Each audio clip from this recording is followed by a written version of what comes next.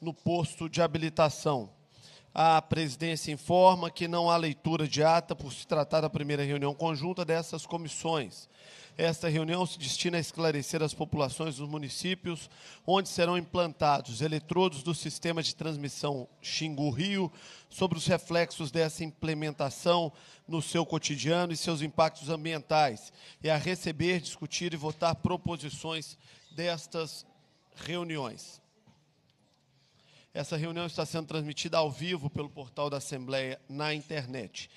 Nessa audiência, o usuário poderá encaminhar perguntas aos parlamentares ou convocados, além de interagir com os outros participantes num chat de bate-papo. Para enviar mensagens, o cidadão deverá efetuar o login no portal da Assembleia, o que pode ser feito também por meio de contas do Facebook ou do Google. As perguntas serão encaminhadas à coordenação da reunião e poderão ser lidos e respondidos na fase de debates ou a qualquer momento durante a reunião, a critério desta presidência. Contamos com a participação do público, agora também online.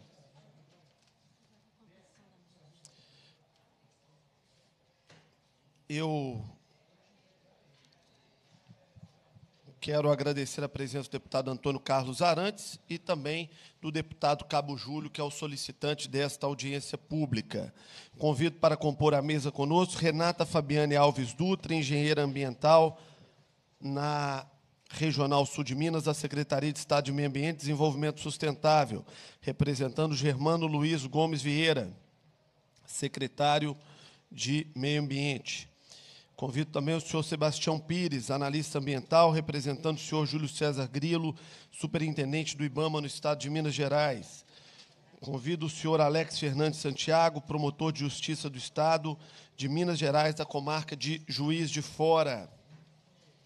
Convido para que possa compor a mesa o senhor Sérgio Martins, prefeito municipal da cidade de Bom Jardim de Minas.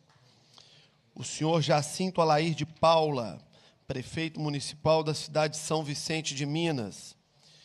Eu gostaria de dizer que acho que completamos aqui o limite, mas temos outros convidados que eu gostaria de, de registrar e dizer que se sentem é, também aqui à primeira fila, para que possam, assim, compor a mesa e terão a mesma possibilidade de explanação dos demais presentes.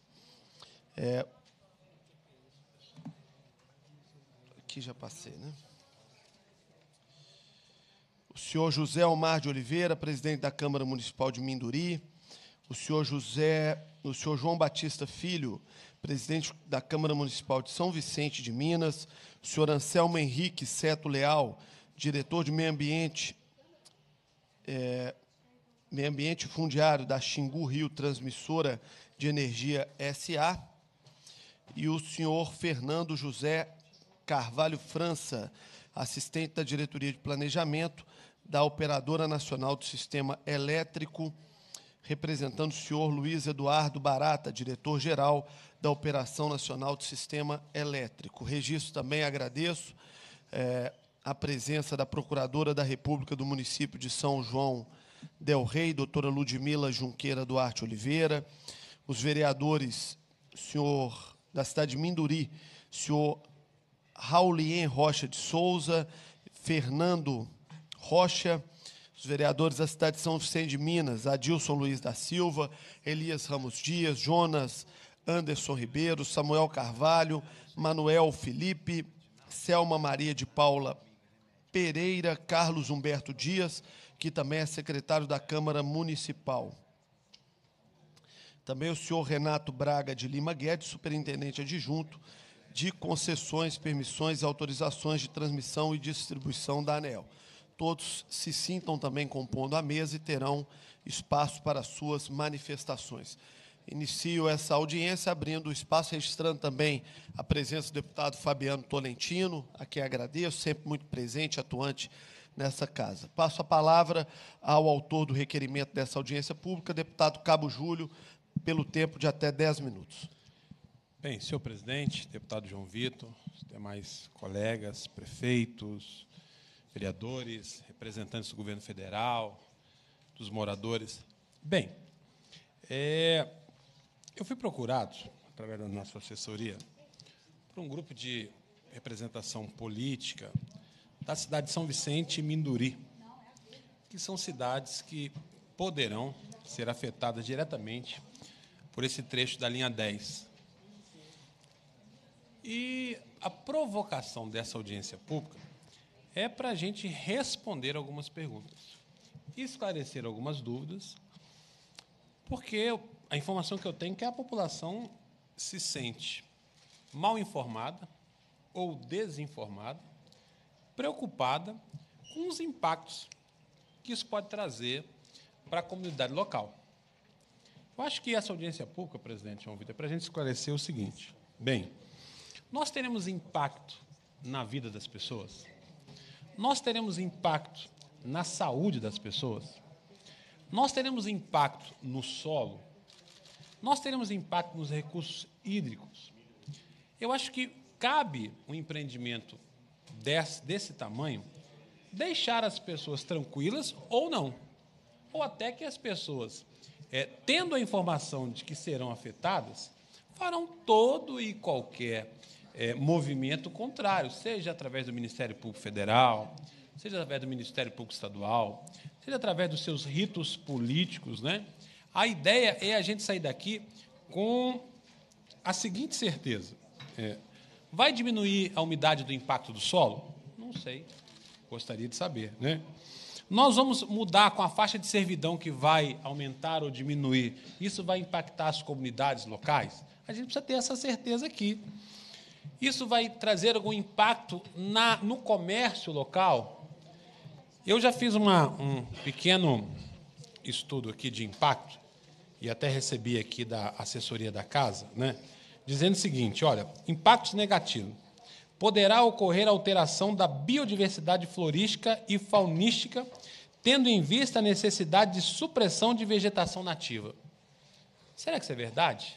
Gostaria de saber. Qual o impacto disso na vida daquelas pessoas? Né? A restrição de uso na faixa de servidão poderá causar interferência em área produtiva?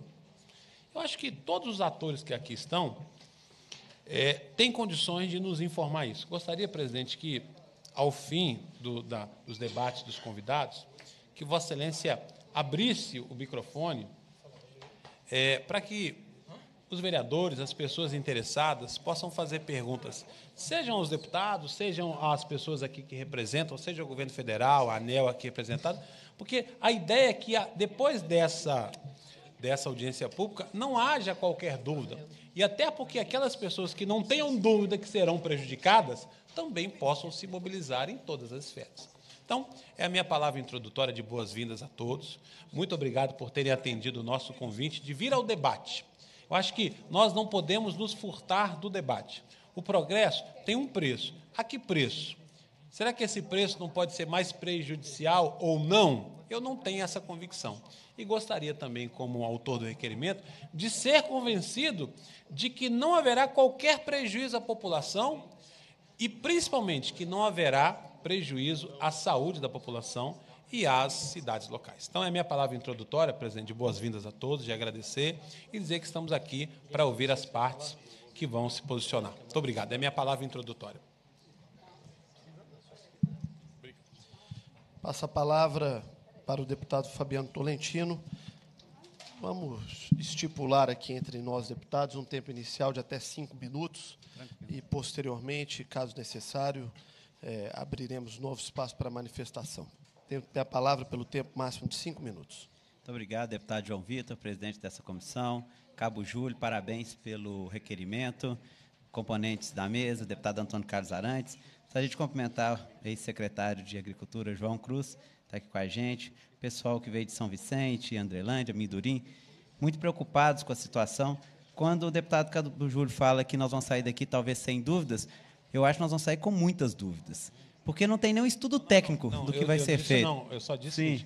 nós queremos, o ideal é que nós não temos, nem que seja prejudicial ou benéfico. Eu acho que nós vamos sair daqui com muita dúvida, porque se a gente for perguntar para o IBAMA a questão do licenciamento, hoje já está no, na licença de implantação, mas deveria ter tido estudo lá na licença prévia, da situação do impacto ambiental que essa questão pode causar, Cabo Júlio. Porque é impressionante como que o IBAMA chega, parece um trator essas empresas. Belo Monte é assim, né? já na sua, no seu início já foi um trator, foi tratolando todo mundo, foi fazendo de qualquer forma, e está passando por Minas e está um trator.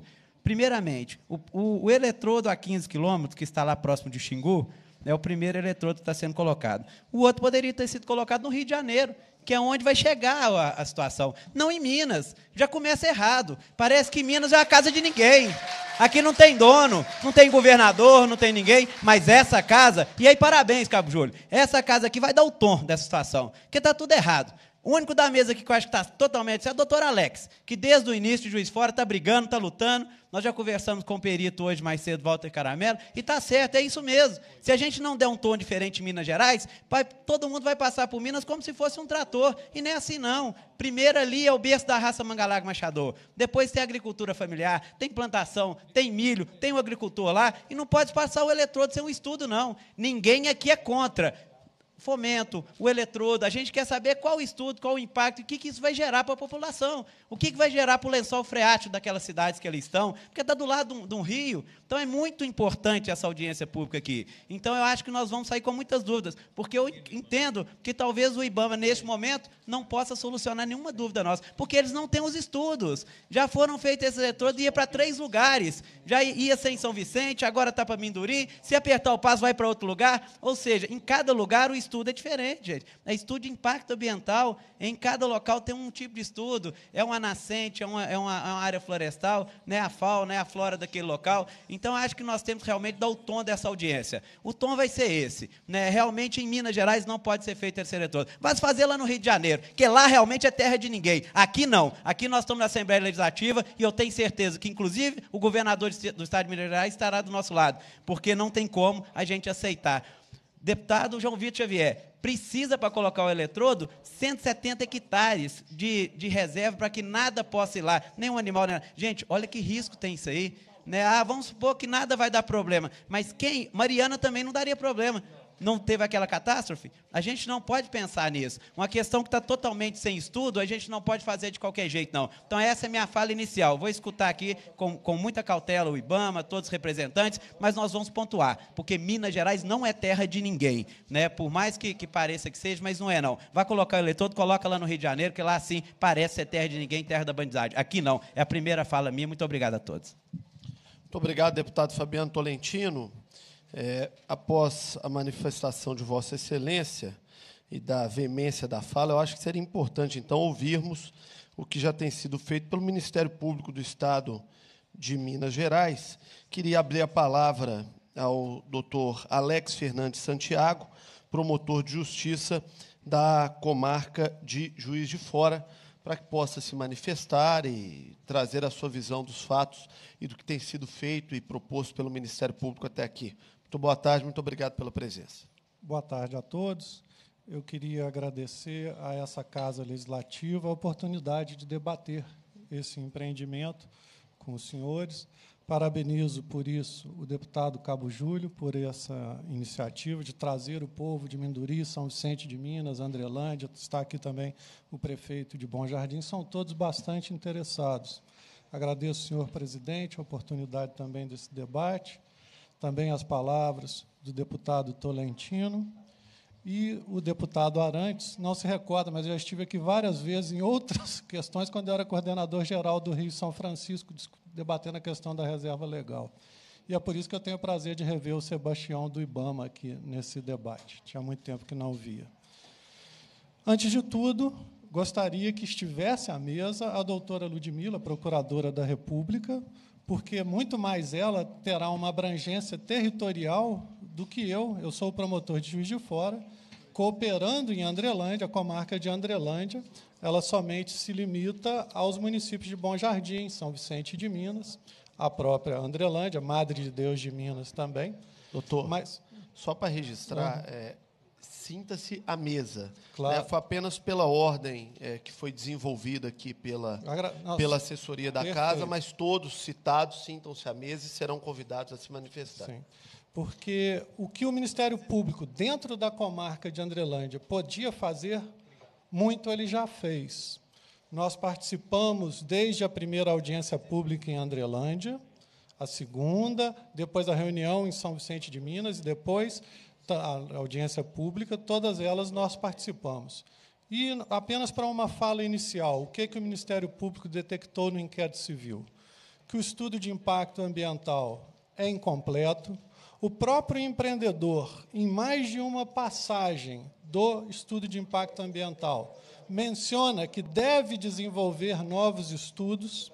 Ele sequer definiu se aproveitaria linhas de transmissões anteriores ou faria novas, o que implica numa grande área de servidão quilômetros e quilômetros de servidão novos ou anteriores, e se anteriores, nós teríamos que discutir a questão da sinergia, da acumulação dos impactos nessa região. O próprio empreendedor, em mais de uma vez, menciona que não deve atingir áreas de preservação permanente, conforme diretriz do seu estudo de impacto ambiental, mas depois, em diversas passagens que estão, foram pontuadas nas audiências públicas anteriores, ele afirma com todas as letras que não vê nenhum problema em convencer o IBAMA, está lá no estudo de impacto ambiental, em convencer o IBAMA de que pode causar degradação em áreas de preservação permanente, apesar de, no início do seu estudo, dizer que não as afetará. E, além disso, nós vemos que a participação pública foi afetada. Por conta de um eletrodo que se revelou um eletrodo móvel, quem foi na primeira audiência pública? A população de Andrelândia. Na segunda audiência pública, que deveria ser para complementar a anterior, ainda na licença prévia, dizendo para a população de Andrelândia por que seria ali, e o empreendedor jurava de pés juntos que o melhor local do mundo era Andrelândia, eles foram e disseram: não, nós vamos implementar em São Vicente de Minas. A população de São Vicente de Minas não foi essa audiência pública. Então já afeta a participação pública nesse primeiro momento. Depois fomos a São Vicente, debatemos. E por que não poderia ser em Andrelândia? Porque ia atingir áreas tombadas, iria atingir áreas de preservação permanente. Houve uma grande mobilização da população de Andrelândia, que está de parabéns, para que não fosse lá. E assim não foi. A população de São Vicente de Minas, surpreendida, vai ao debate. Expedimos recomendação ao senhor prefeito de São Vicente de Minas, que acatou, foi muito correto na sua atuação, muito preocupado, uma atuação exemplar do senhor Lilico do Gás, que é o prefeito de São Vicente de Minas. Mas depois, novamente o eletrodo muda de lugar e já é licença de instalação em Minduri. Isso tinha que ser discutido, alternativa locacional, viabilidade do empreendimento, a licença prévia, com a população de Minduri. A população de Minduri é surpreendida, já é lhe imposta uma licença de instalação, quando esse debate deveria ser feito de licença prévia lá em Minduri. E a população de Minduri não participou desse debate. Esses são os questionamentos de uma primeira fala. Espero ter a oportunidade de voltar a debater com os senhores. Trouxemos uma apresentação dos impactos, os peritos que nós designamos no laudo. E já passamos, inclusive, o laudo, se a doutora Ludmila depois quiser se manifestar, acredito que sim. Agora ela tem uma abrangência territorial muito maior do que a nossa. Já, Minduri já não é a comarca de Andrelândia, seria uma atuação afeta ao Ministério Público Federal e ao promotor que responde pela comarca de Cruzilha. Mas agradeço imensamente a oportunidade que essa Casa Legislativa me dá. Eu quero abrir o espaço, caso o senhor queira, já pode apresentar, fazer a apresentação de uma vez. Eu, eu pediria, apenas por uma questão até de melhor continuidade, compreensão, o empreendedor tem que falar primeiro, porque ele tem que abrir o seu empreendimento, explicar o empreendimento e depois a análise nossa do Ministério Público. Se o senhor concordar, eu agradeceria muito.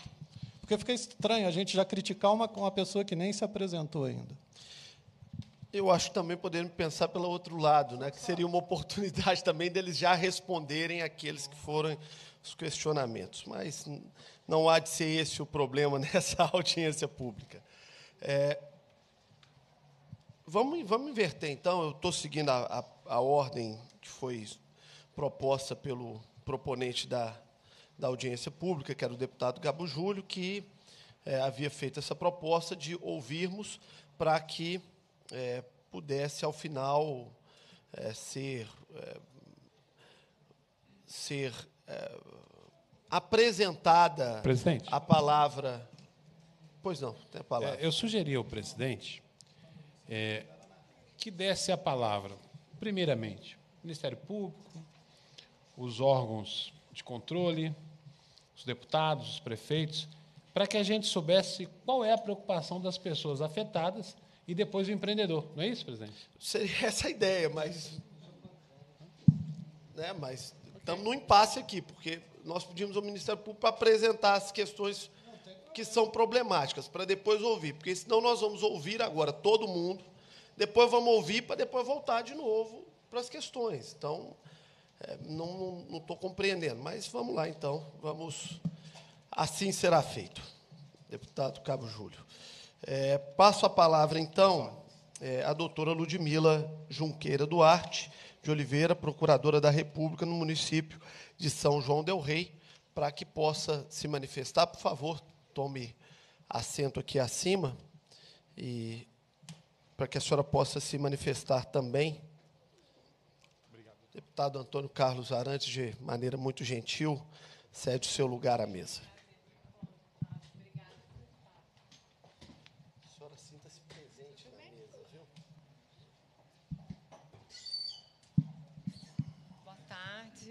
É, não, corroborando, então, né, o que o doutor Alex já apresentou, é, parabenizar a iniciativa dessa casa. Né, é muito importante, é a casa do cidadão e esse aqui, então, é o espaço para que o cidadão possa apresentar é, o questionamento sobre esse empreendimento. Primeiro, eu quero só fazer uma colocação. Eu acho assim, é, o papel do Ministério Público não é ser contra empreendimentos, não é. É, mas existe, existem outros direitos que têm que ser observados né, no estudo, na análise, na, na, na implantação de qualquer tipo de empreendimento. Então, assim, é, não pode, em nome, é claro, a gente sabe da importância desse empreendimento para o país, não é só para o Estado de Minas. Ele está ligado, na verdade, o eletrodo é uma das, das partes de um empreendimento muito maior, né, de uma linha de transmissão que vai do norte né, ao Rio de Janeiro e que tem várias outras, outras partes. Né? E a gente está tratando aqui especificamente do, do eletrodo e da linha de transmissão na parte que vai é, cruzar o estado de Minas Gerais. É, como o doutor Alex já colocou, o que a gente tem observado é, é, é essa indefinição sobre o local de instalação do eletrodo isso causou um transtorno muito grande. O doutor Alex achou a expressão muito interessante, é um eletrodo móvel. Ele já passou por vários possíveis locais, né? E o Ministério Público Federal, inclusive, já apontou para o IBAMA que, em razão disso, a população de Minduri foi muito prejudicada em poder analisar a possibilidade de ir ou não o empreendimento para a sua cidade. É, não só porque foi mudando ao longo do tempo, mas quando foi feita a audiência pública em Minduri, que é uma exigência legal, né, é, é a oportunidade do cidadão se manifestar, apresentar suas dúvidas, seu questionamento sobre aquele empreendimento, ser melhor esclarecida. O que aconteceu? Os estudos já produzidos naquela época, eles não haviam sido divulgados. Não existia em lugar nenhum. Eu, eu fui a essa audiência pública, eu fui surpreendida pela novidade de que o eletrodo iria ser implantado ali em Minduri. E não só por essa novidade, como também uma nova mudança que, durante todo o estudo de impacto ambiental, disse que o eletrodo vai ser um eletrodo horizontal. Lá no dia da audiência pública, foi comunicado que não. Alterou-se a alternativa técnica, não só locacional, como técnica também, vai ser um eletrodo agora vertical.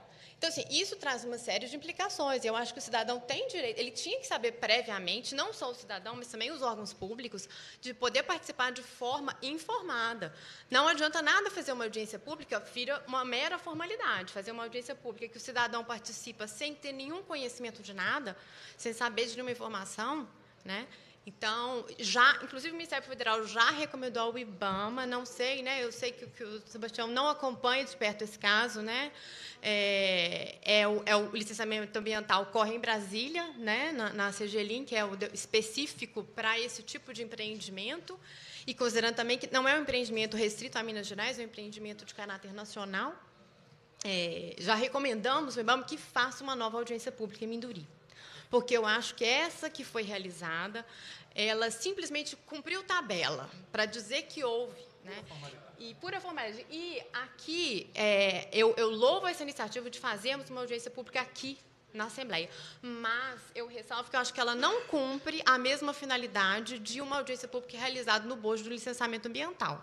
Primeiro porque tem alguns representantes aqui de Minduri, mas a população local que vai ser diretamente impactada por esse empreendimento, ela não tem a possibilidade de estar aqui. Né? A cidade está, não, não sei a quantos quilômetros, mas é muito distante aqui da capital.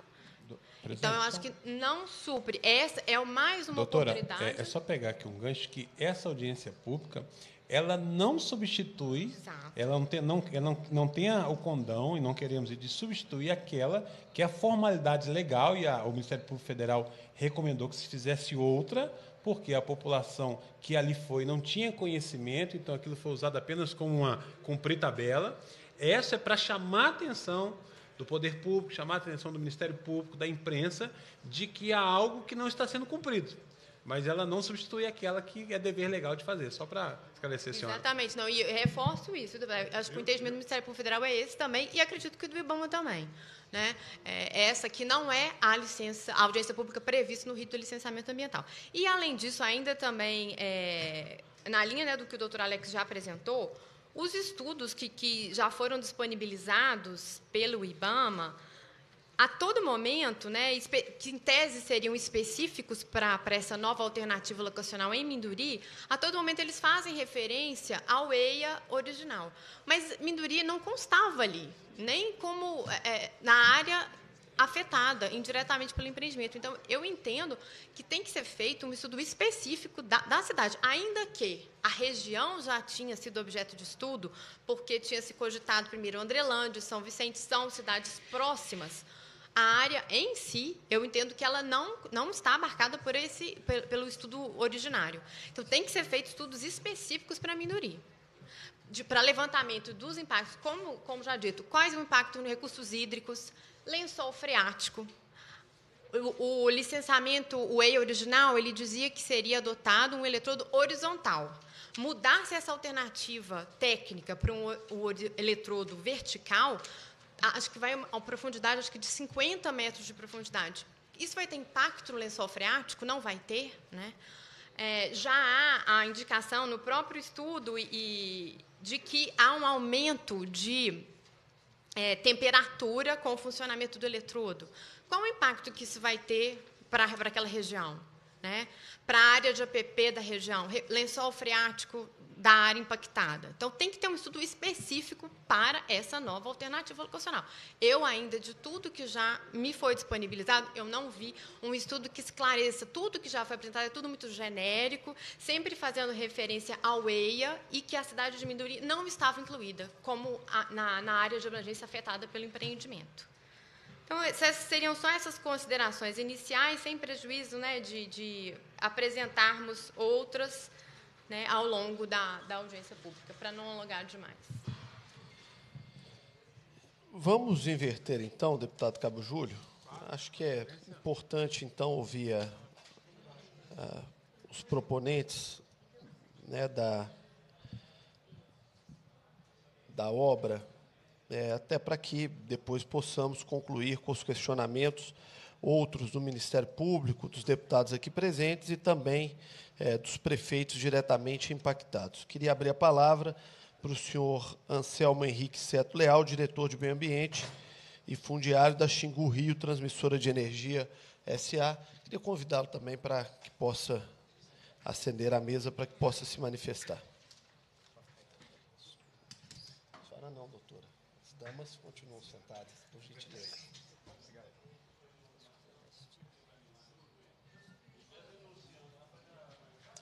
Pode, pode pegar qualquer um dos dois microfones, fica à vontade. Boa tarde a todos. Em nome do presidente da mesa, eu cumprimento a todos presentes. Agradeço a oportunidade que nos foi concedida de apresentar o nosso empreendimento e, na linha do que o deputado Cabo Júlio disse, eu, nós iremos nos esforçar para sanarmos os questionamentos levantados todos que sejam pertinentes ao nosso empreendimento. Nós preparamos uma apresentação, presidente, eu gostaria só de alguma orientação sobre como é o procedimento qual que é o tempo, como eu devo conduzi-la? Olha, é, eu vou abrir o tempo que for necessário, até porque o objetivo é esclarecer todas as dúvidas. Então, é, considero tenham o tempo necessário para exaurir todas as dúvidas e abro espaço também é, para que os prefeitos, os deputados e também o Ministério Público, é, ao final da sua apresentação, possam é, fazer os questionamentos que considerarem necessários e o senhor possa voltar a se manifestar. Como disse o deputado Cabo Júlio, o objetivo primordial é que sejam é, tiradas todas as dúvidas é, possíveis então, tem o tempo necessário para a apresentação. Nós preparamos duas apresentações distintas, uma sobre o empreendimento e a solução tecnológica adotada, e tem um destaque das, de outros empreendimentos equivalentes. E nós temos uma apresentação específica do estudo de impacto ambiental, dos eventuais impactos e as medidas compensatórias Fique e à vontade. A gente vai fazer as duas, tá? Bom. Aquela apresentação que está lá. É. Teremos outra.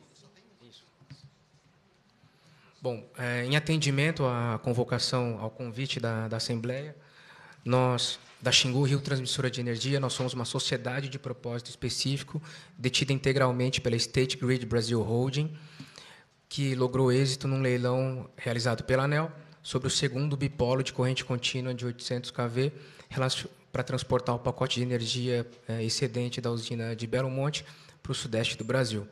A Xingu Rio contratou uma consultoria independente, ela não é a própria Xingu Rio que faz os estudos. Nós con contratamos a Concremate Engenharia para fazer toda a parte de diagnóstico ambiental, estudo de potencial de impacto, que suportou o processo de licenciamento ambiental. Bom, de maneira bem rápida, para a gente contar um empreendimento, é uma linha que se inicia lá na, em Anapu, no Xingu, próximo à usina de Belo Monte, ela percorre 2.543 quilômetros até chegar na cidade de Paracambi, no estado do Rio de Janeiro. Nas extremidades, uma em cada subestação conversora, ele é dotado de um eletrodo de terra. O eletrodo de terra de Anapu está a 30 quilômetros da subestação e o eletrodo de terra da subestação Terminal Rio a 150 quilômetros da estação. Adicionalmente, existem as conexões com o sistema elétrico interligado, nomeadamente uma linha é, de corrente alternada que conecta a subestação de Terminal Rio a subestação de Nova Iguaçu, na Baixada Fluminense, e um, intercepta também um seccionamento de linhas existentes de Furnas, que interligam o sistema elétrico brasileiro. Então, ela tem dois pontos de conexão, uma Cachoeira Paulista de Adrianópolis e a outra Nova Iguaçu. Bom, números gerais, o investimento de aproximadamente 7,6 bilhões de reais, reais né, é, perfaz cinco estados.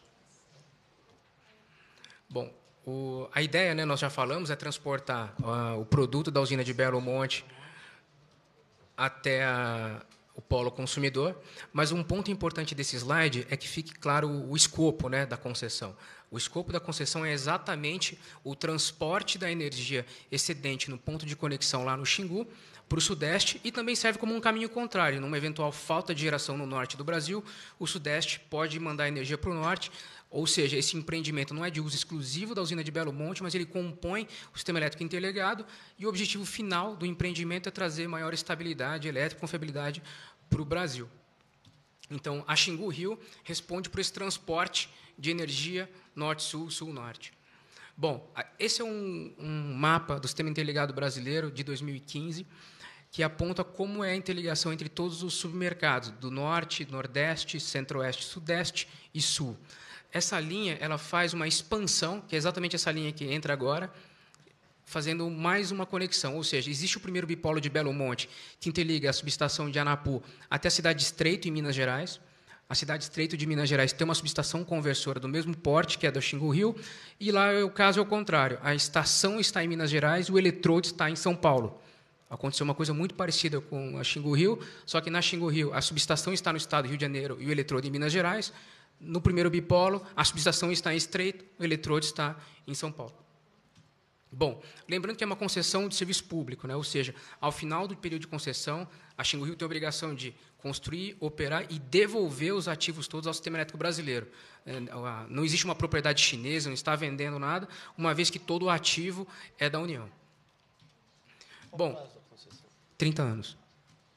Bom, contando um pouco das etapas do projeto, eu acho que para para a gente tentar ficar todo mundo na mesma página. Né? O leilão ocorreu em julho de 2015, houveram a realização dos estudos ambientais e a Xingu Rio é, solicitou a licença prévia em março de 2016.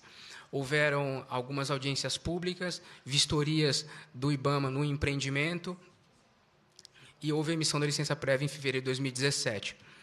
A partir da emissão da licença prévia, o empreendimento tomou duas velocidades distintas.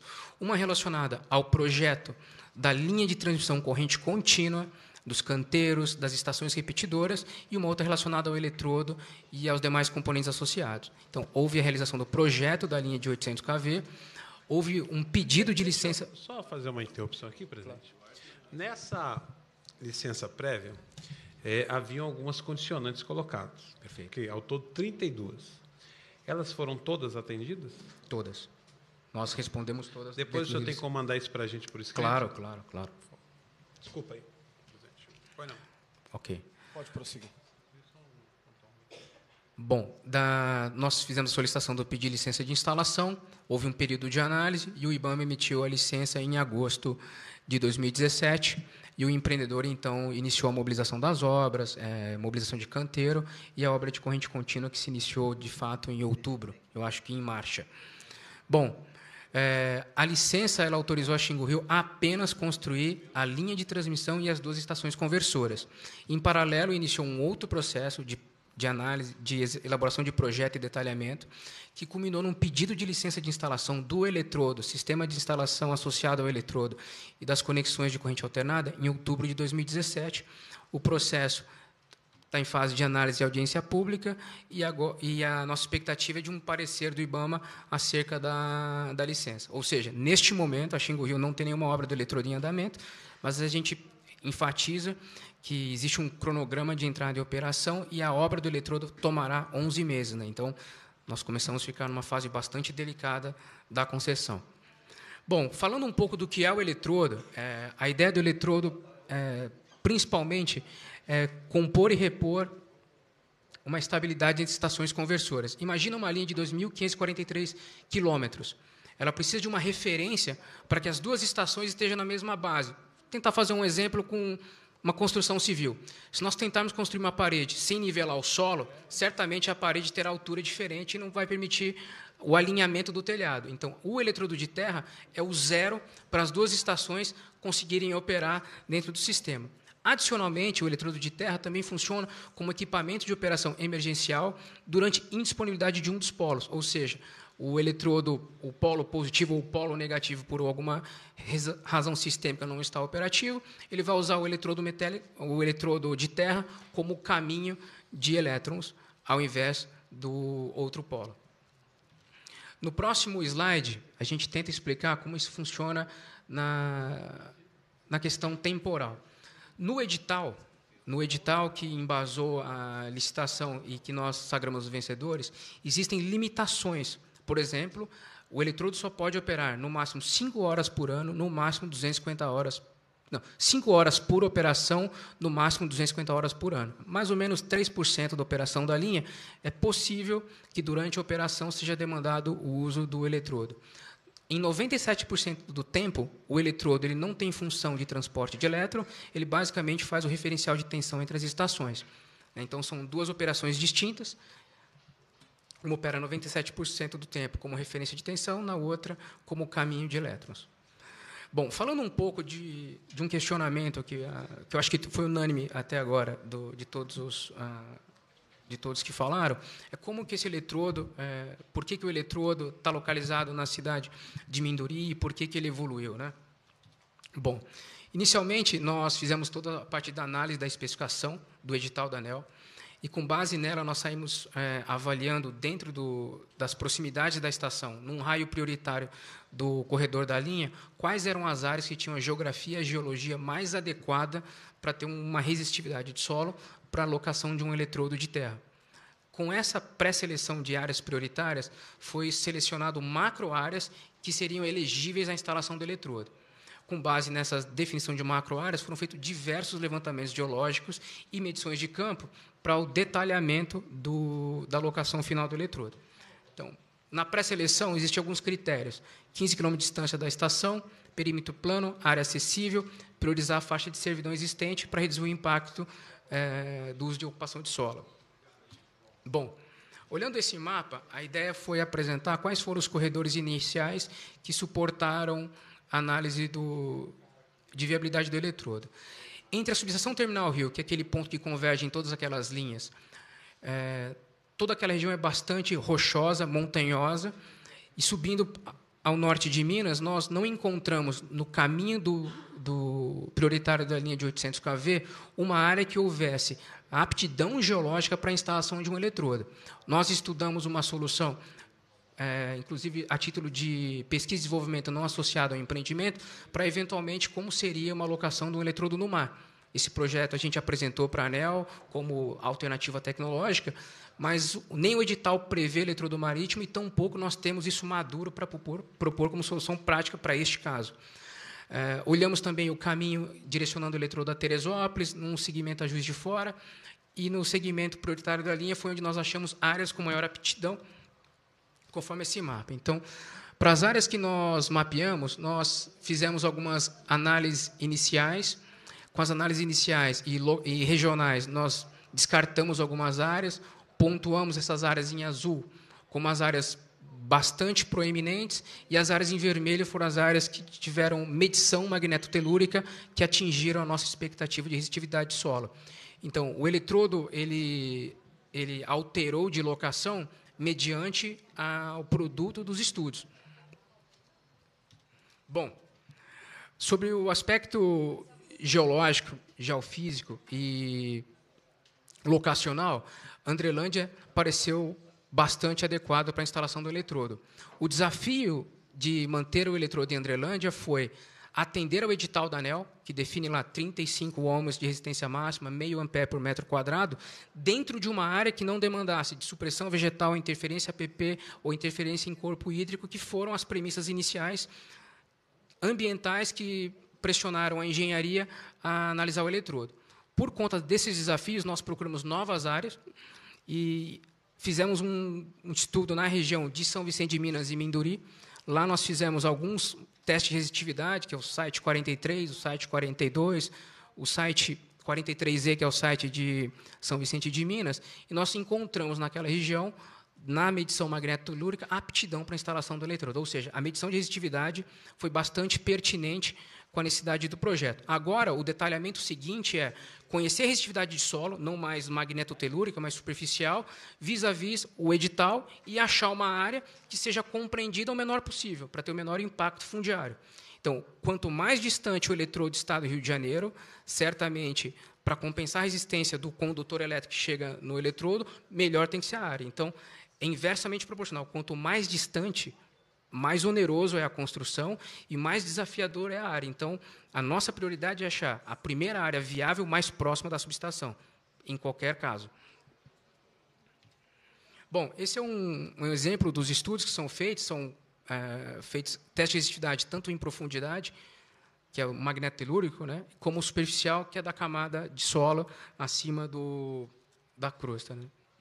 Bom, na fase de projeto, então, é feito um modelo geoelétrico, aplicado os critérios internacionais de dimensionamento de eletrodo, a configuração do eletrodo é definida e a especificação do sistema, né, como ele é montado, qual é o tipo de, de carvão que é utilizado, qual é a liga metálica de cada elemento do eletrodo, entre outros. Bom, com base nesses estudos, o, nós entendemos que na região do site 43 nós encontramos a, a uma resistividade adequada.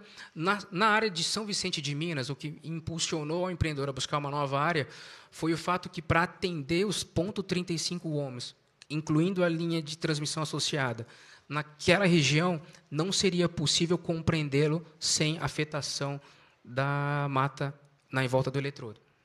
Então, o dimensionamento do eletrodo ele foi pressionado por uma questão fundiária. Não existia como expandir o eletrodo naquela área sem que tivesse um comprometimento de alguma de algum fator ambiental importante.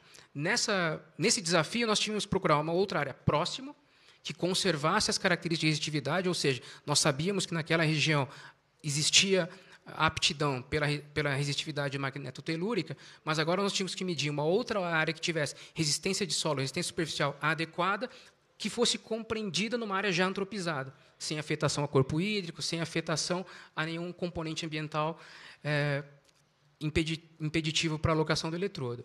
Em Minduri, a 3 quilômetros do primeiro do eletrodo de São Vicente de Minas, que é bem na divisa, nós encontramos uma área que tinha aptidão é, de resistência de solo, mas ela era possível compreender o eletrodo sem afetação à mata ciliar, a corpo d'água.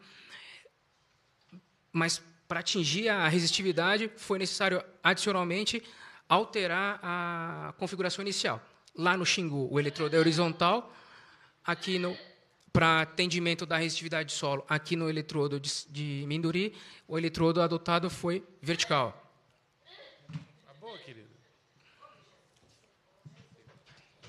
Pediria um segundinho claro. apenas para que uma fã do deputado Cabo Júlio possa abraçá-lo.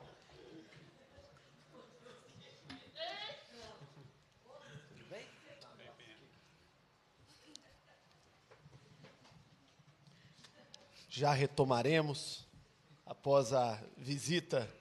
Qual o nome da nossa amiga? Da Poliana. Muito bem-vinda, viu, Poliana? Muito bem-vinda, viu?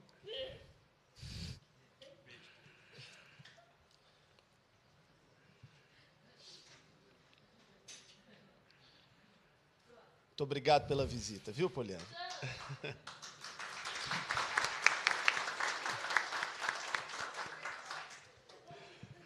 Muito obrigado pela compreensão. Pode prosseguir.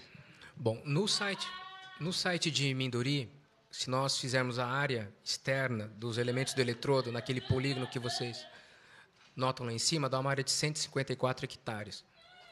E a distância entre essa área e o ponto de conexão na subestação de, em Paracambi é de 151 quilômetros. Bom, aqui mostra um pouco sobre a área em, em si. O, aquele mapa que vocês veem são, uh, são anéis com poços, 160 poços verticais, de até 65, 67 metros de diâmetro, com 65 perdão, 67 metros de profundidade, 65 centímetros de diâmetro. Eles são todos interconectados em caixas de conexão e elas vão até uma, uma casa, que eu vou mostrar mais para frente, para onde sai a linha de transmissão associada ao eletrodo. Então, assim, olhando o eletrodo, ele é todo enterrado, não existe nenhum elemento externo a não ser a casa de conexão dos cabos.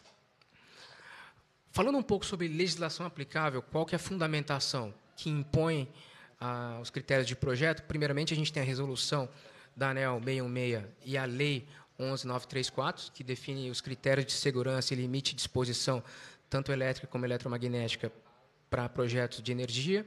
O próprio edital, que ele é bastante é, criterioso na especificação do eletrodo.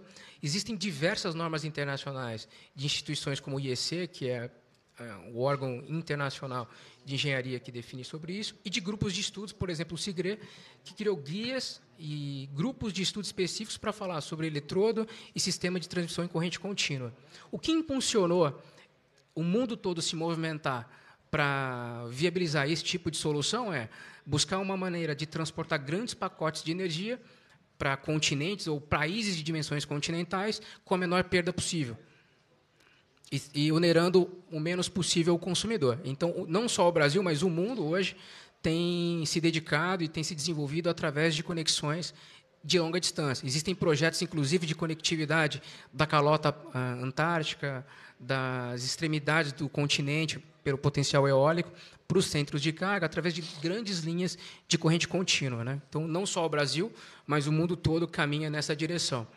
Falando um pouco sobre o nosso projeto, o edital definiu valores limites para algumas grandezas, como tensão de paz, que é definida em norma, é, temperatura máxima do eletrodo, é, densidade de corrente, ou seja, quantidade de corrente que pode passar em determinada área, vida útil do elemento do eletrodo e resistividade máxima de solo. Então, quando nós comparamos a, a especificidade do, do edital contra o projeto, nós vemos que o limitador do dimensionamento do eletrodo e o que impulsionou a área que nós temos lá hoje é a densidade de corrente. Então, meio ampere por metro quadrado é uma corrente bastante baixa.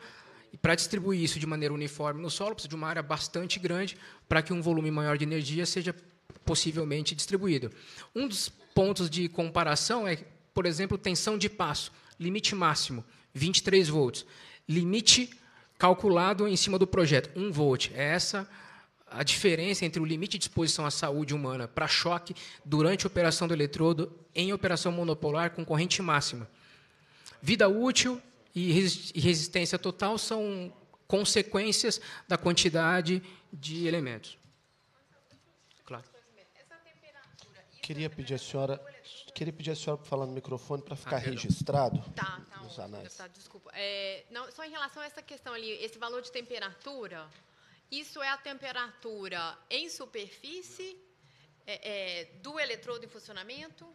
Essa é a temperatura máxima do elemento metálico do eletrodo, o anodo enterrado. Existe uma dissipação térmica, primeiro porque existe um, um sistema de coque em volta, né? ele, ele, é revestido por coque. Existe um sistema de controle de temperatura através de deposição de água que controla se eventualmente ele exceder esse aquecimento. Então, dentro do poço, tem lá um medidor de temperatura automatizado que atua em função de sobrelevação. Vou aproveitar a pergunta da doutora. Essa é a temperatura do eletrodo. Isso afeta a temperatura de solo? Até que ponto? Boa, é... Ou seja, alguém está ali. Perfeita pergunta, perfeito. Isso tá vai claro. afetar a temperatura de alguém e essa aumento ou não de temperatura vai impactar a vegetação? Perfeito. Vai impactar a, a, os animais ali? Eu, essa pergunta é, é muito importante porque isso eu acho que elucida muito do impacto.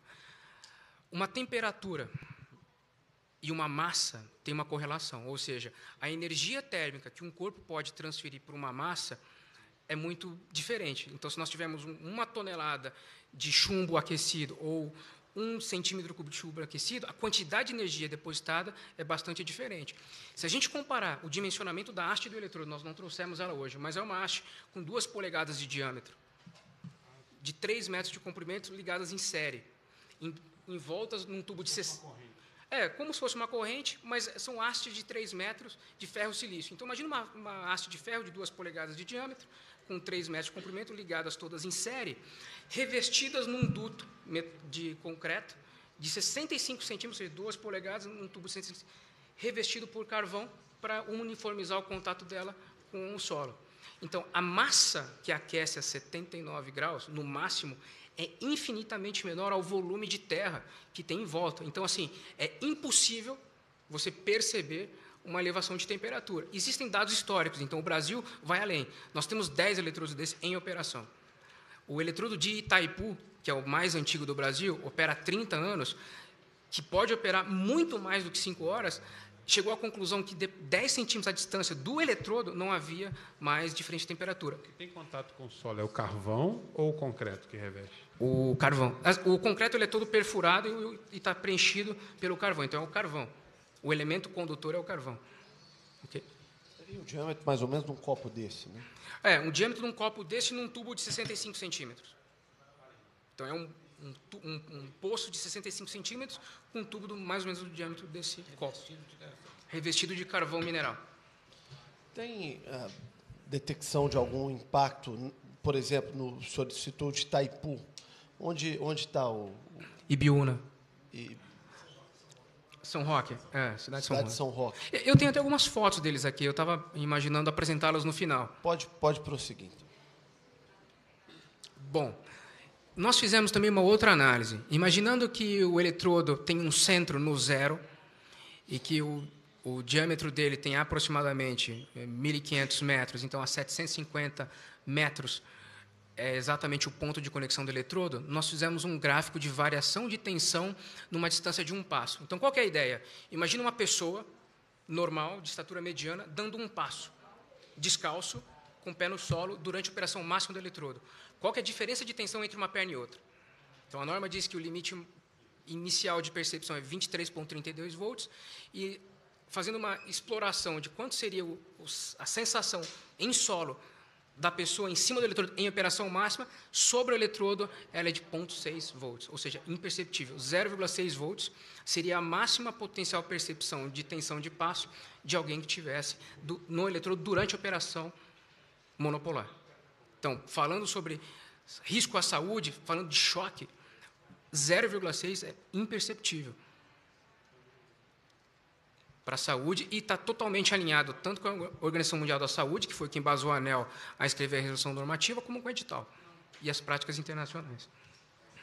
Bom, agora, é, tentando elucidar um pouco mais o que a gente falou de como funciona o eletrodo, como é que é a construção dele, eu espero que esses slides consigam mostrar um pouco para a gente. Então, eu falei um pouco de um tubo de concreto, esse é o poço, então ele é feito uma perfuração de um poço, como se fosse um poço comum, ele é encamisado com uma anilha de concreto, o equipamento de perfuração é um equipamento bastante conhecido por, por todos que já viram perfuração de poço. Né?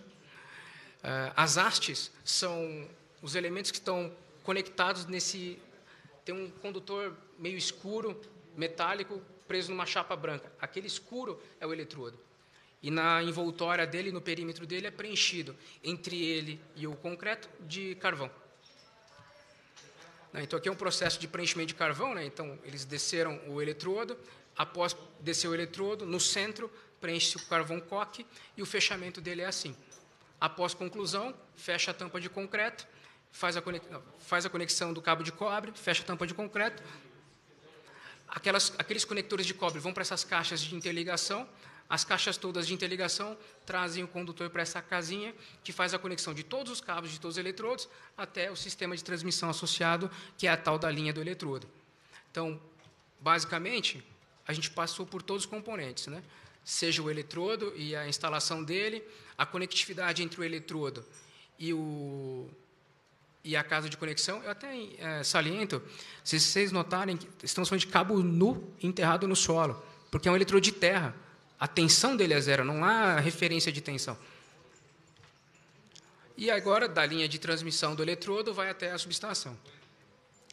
É, nós apontamos em nossos estudos quais eram os potenciais impactos. Então, eu acho que quem trouxe à tela os impactos do empreendimento foi o próprio estudo de impacto ambiental.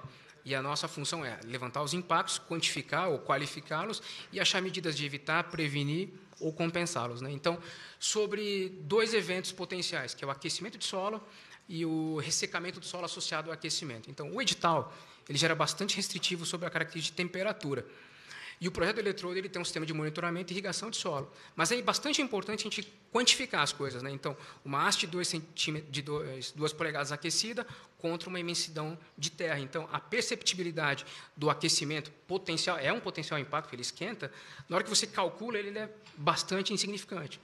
Então, o impacto dele com o corpo hídrico, ele não vai consumir água em sua operação. O que existe é um sistema de segurança em caso extremo, ou seja, existe um equipamento lá de emergência, mas em operação não há previsão sequer da, da necessidade de controle de temperatura. Cinco horas, 250 horas por ano, eventualmente em corrente máxima, não vai gerar um aquecimento máximo. E mesmo que gere, está controlado. Um outro ponto importante é a tensão de passe e a tensão de toque. Ou seja, qual que é o risco uma pessoa, um operador nosso, né? imaginando o, operador, o eletrodo funcionando, alguém em cima do eletrodo e entra em operação. A pessoa vai morrer? Não. A gente acabou de ver que a tensão máxima entre as pernas não passa de 0,6 volts. Tensão de toque é se alguém encostasse em algum elemento, eh, uma cerca próxima. E o critério de dimensão de tensão de toque ficou muito menor por causa da tensão de passe que já é baixa. Né? Bom, corrosão. O que existe como eventual impacto no eletrodo é que num duto ultralongo, muito próximo no eletrodo, poderia ser objeto de, uma, de um consumo de massa dele. No nosso projeto, nós mapeamos os dutos e sabemos que existem dutos que são dotados de proteção catódica para isso. Então, neste projeto, nós não mapeamos nenhum elemento é, próximo que seja impactado e, mesmo que eventualmente haja, o que é necessário é que o empreendedor, a Xingu Rio, é obrigada a instalar um componente de controle de corrosão catódica. Por fim, existe um outro potencial impacto, que é como que este eletrodo próximo a um sistema de distribuição da região, a, a rede elétrica das fazendas próximas, como é que ela seria eventualmente afetada. Ou seja, a Xingu Rio faz um, fez um levantamento junto da, da CEMIG, do, da Sistema de Distribuição, e nós não mapeamos nenhum impacto. Se houver algum impacto, a Xingu Rio é obrigada, junto à CEMIG, a instalar dispositivos de proteção. Existem equipamentos, mesmo que tivesse um transformador dentro do eletrodo e tivesse que fazer uma desconexão do terra, existe um equipamento próprio para isso, que é um dispositivo elétrico, que se instala no transformador. Ou seja, nós não mapeamos esse, esse eventual risco e, se ele houver, é nossa obrigação instalar o equipamento que vai fazer a desconectividade do terra e evitar um impacto do, do eletrodo de terra é, num sistema de transmissão existente. Então, essa proposição dos impactos fomos nós mesmos que trouxemos. com a obrigação de qualificá-lo e apresentar qual é o elemento mitigador de determinado impacto. Bom, falando um pouco de eletrodos no Brasil, nós temos é, alguns eletrodos associados às estações, então tem a subestação de Porto Velho, de Araquara, de Foz do Iguaçu, de Biúna, de Anapu e de Estreito. Essas estações totalizam 10 eletrodos. Da subestação de Estreito, o eletrodo não está em Estreito, está no estado de São Paulo. E aqui a gente mostra como eles têm interagido com o uso de solo. Então, primeiro, é, nós vemos um eletrodo é, com uma oportunidade de reflorestamento, então o empreendedor de Porto Velho entendeu por reconstituir mata. No de baixo, o eletrodo não é circular exatamente para desafetar aquela vegetação aos. A, ela é circular. Aquele de cima é um eletrodo horizontal. Vocês veem que o eletrodo de baixo ele foi inclusive seccionado para não interferir no corpo hídrico, e a casa de seccionamento é, são duas no caso. Né? Olhem que tem uma benfeitoria é, de um terceiro a 550 metros do eletrodo. Um, esse eletrodo que nós falamos né, mostra como funciona o eletrodo que está localizado em Araraquara. Tem uma instalação a 930 metros e existe uma etapa produtiva em volta do eletrodo que não foi afetada. Né? Então, no caso é cana. Perdão? Deputado Cabo Júlio se pergunta se não há risco de qualquer tipo Você de tem ali uma benfeitoria 930 metros do eletrodo. Sim. É, do foi... eletrodo de Araraquara. Ok, né? aquele caso Isso. específico ali. O eletrodo ali ele é circular. Ok? Não tem benfeitoria para nenhuma área a não ser aquela ali. Só do lado esquerdo ali. Para baixo não tem benfeitoria. A benfeitoria mais próxima da área circular é 930 sim. metros ali. Neste caso, sim. Não há qualquer tipo de, de impacto na, naquela. Não sei se é uma casa ali. É, é uma instalação, uma, uma, faz, uma instalação de uma fazenda. Uma fazenda ali. É uma área de cana de açúcar. Entendi. Aí, mas a, a minha preocupação primeiro com as pessoas ali. Não tem nenhum tipo de impacto comprovado ou não comprovado ali sobre aquela benfeitoria? Perfeito, entendi a pergunta. Deixa eu tentar responder. A pergunta. Eu falei agora há pouco que sobre o eletrodo, em operação máxima, a tensão é de 0,6 volts. Ou seja, sobre o eletrodo já não haveria nenhum risco de exposição. Em alguns eletrodos tem até cultura dentro da área do eletrodo. Então, no eletrodo, se nós estivéssemos sobre o eletrodo, não teria nenhum impacto. A 950 metros se aplica o mesmo conceito. Bom, eu acho que aqui um outro exemplo de um eletrodo um pouco mais velho, é o eletrodo de, de Foz do Iguaçu, né? são dois, na usina de Itaipu.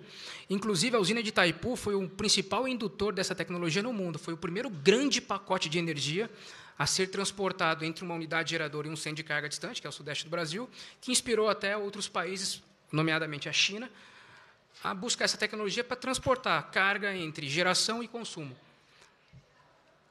Notem que o adensamento das propriedades agrícolas foi bastante grande em volta do eletrodo. Né? O impacto foi exatamente na área por uma questão operativa e não por uma questão de limitação ambiental. Esse é um outro exemplo que eu acho que ele traz uma outra informação. Esse é um exemplo de eletrodo inscrito numa área de vegetação nativa. Ele foi instalado há 30 anos atrás. Existe um corpo hídrico separando dois eletrodos. Notem, são dois eletrodos aí, um à esquerda e um à direita.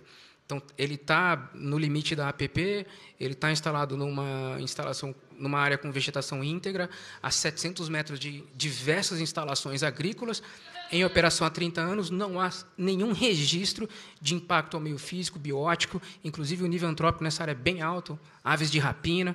Essa área pode, inclusive, ser visitada a qualquer tempo, mediante a solicitação a Furnas. Né? Então, notem que a gente está falando de áreas bastante próximas, inclusive, a centro urbano, né? a condomínios, entre outros.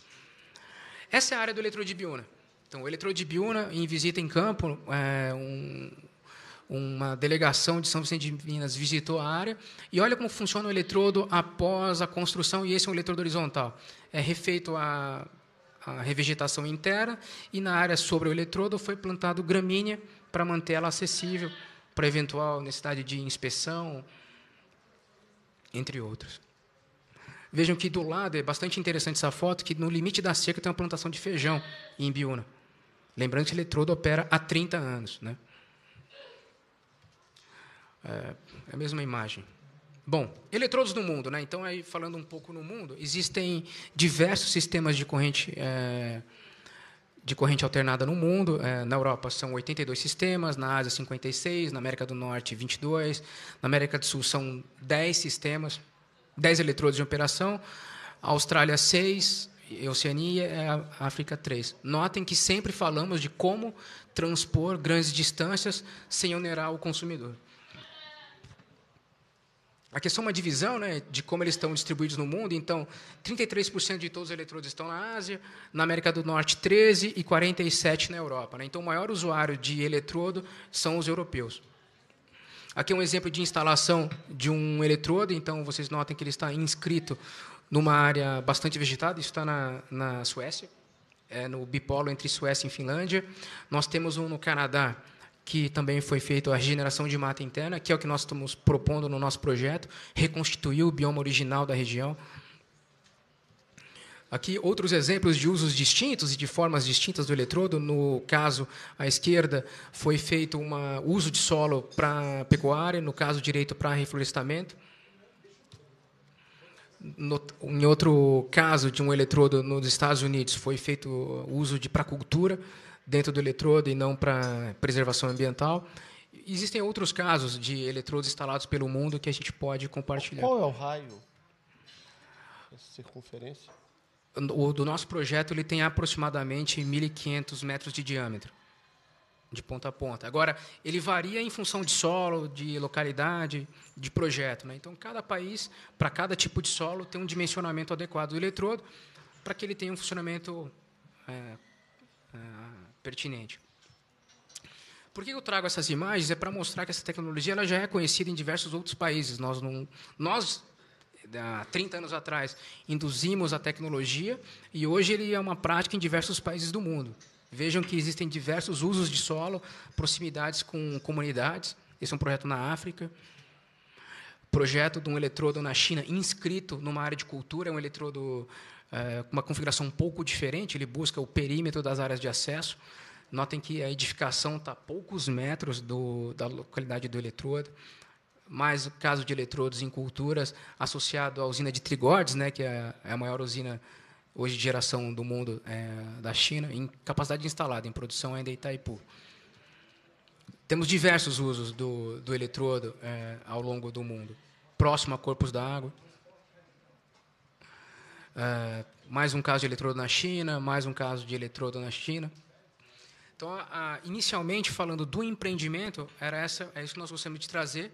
Agora, nós também trouxemos a apresentação do estudo de impacto ambiental, que a gente vai falar, nomeadamente, dos temas ambientais, que talvez complete os questionamentos que foram levantados. Eu não sei. Posso pedir já a assessoria para já fazer a transição é, de uma apresentação para outra? Me disseram que demora alguns segundos. Já está pronto? Então, pode Pode prosseguir. Eu gostaria de convidar o, o doutor responsável pela elaboração dos estudos para que ele faça a apresentação, é o doutor Anderson. Eu, eu questiono ao Ministério Público, ao deputado Cabo Júlio, que é o proponente, à Secretaria de Meio Ambiente, ao IBAMA, se querem dividir eh, em duas partes, se querem fazer algum questionamento sobre o que foi apresentado até aqui, ou se preferem todos os questionamentos ao final. Então, vamos prosseguir. Pode seguir para a segunda parte da apresentação.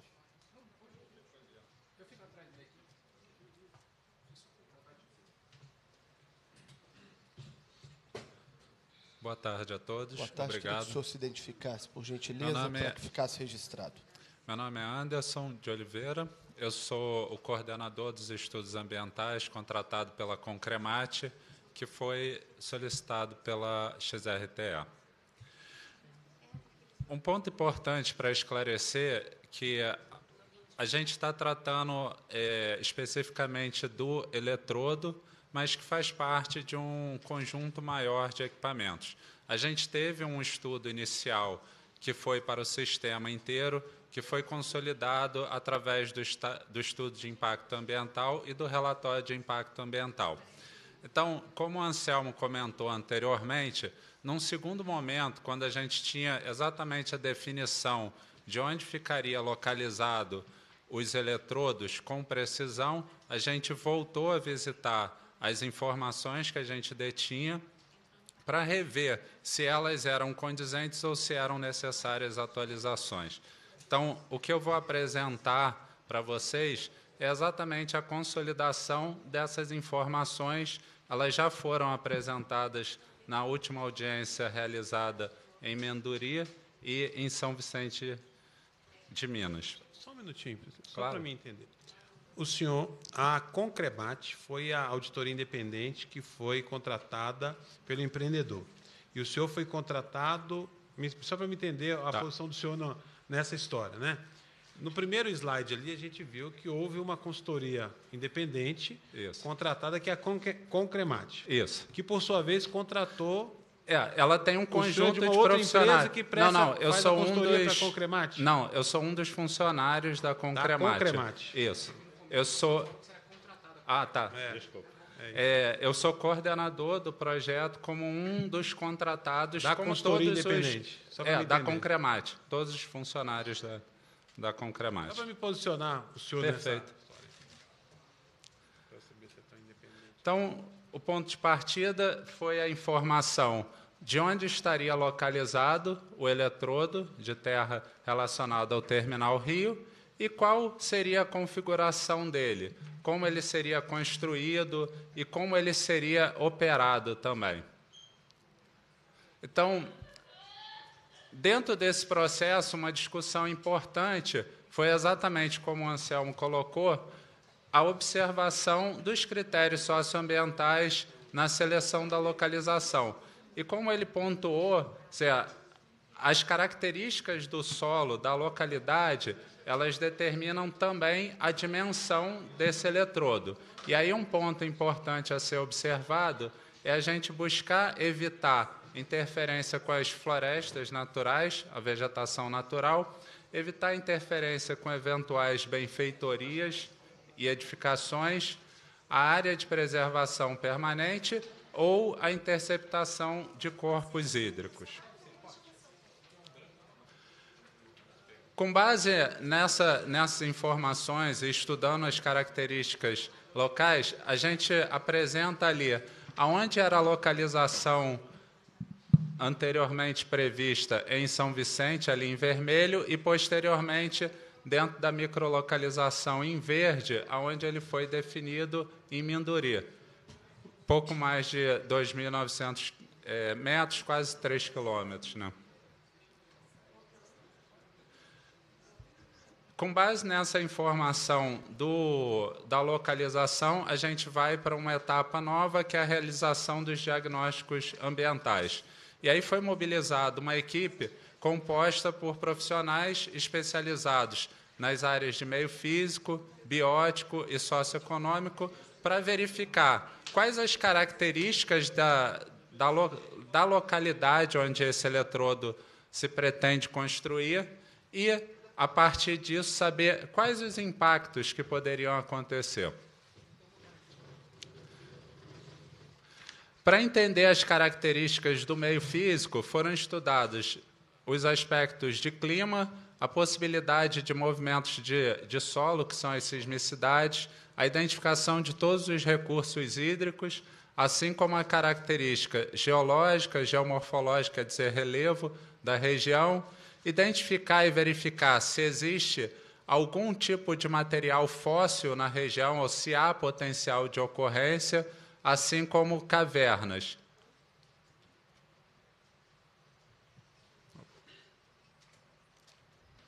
É, além disso, outro ponto importante, em função de você ter bastante movimentação de solo, uma preocupação era exatamente saber se, se durante esse processo construtivo poderia ocorrer algum processo erosivo.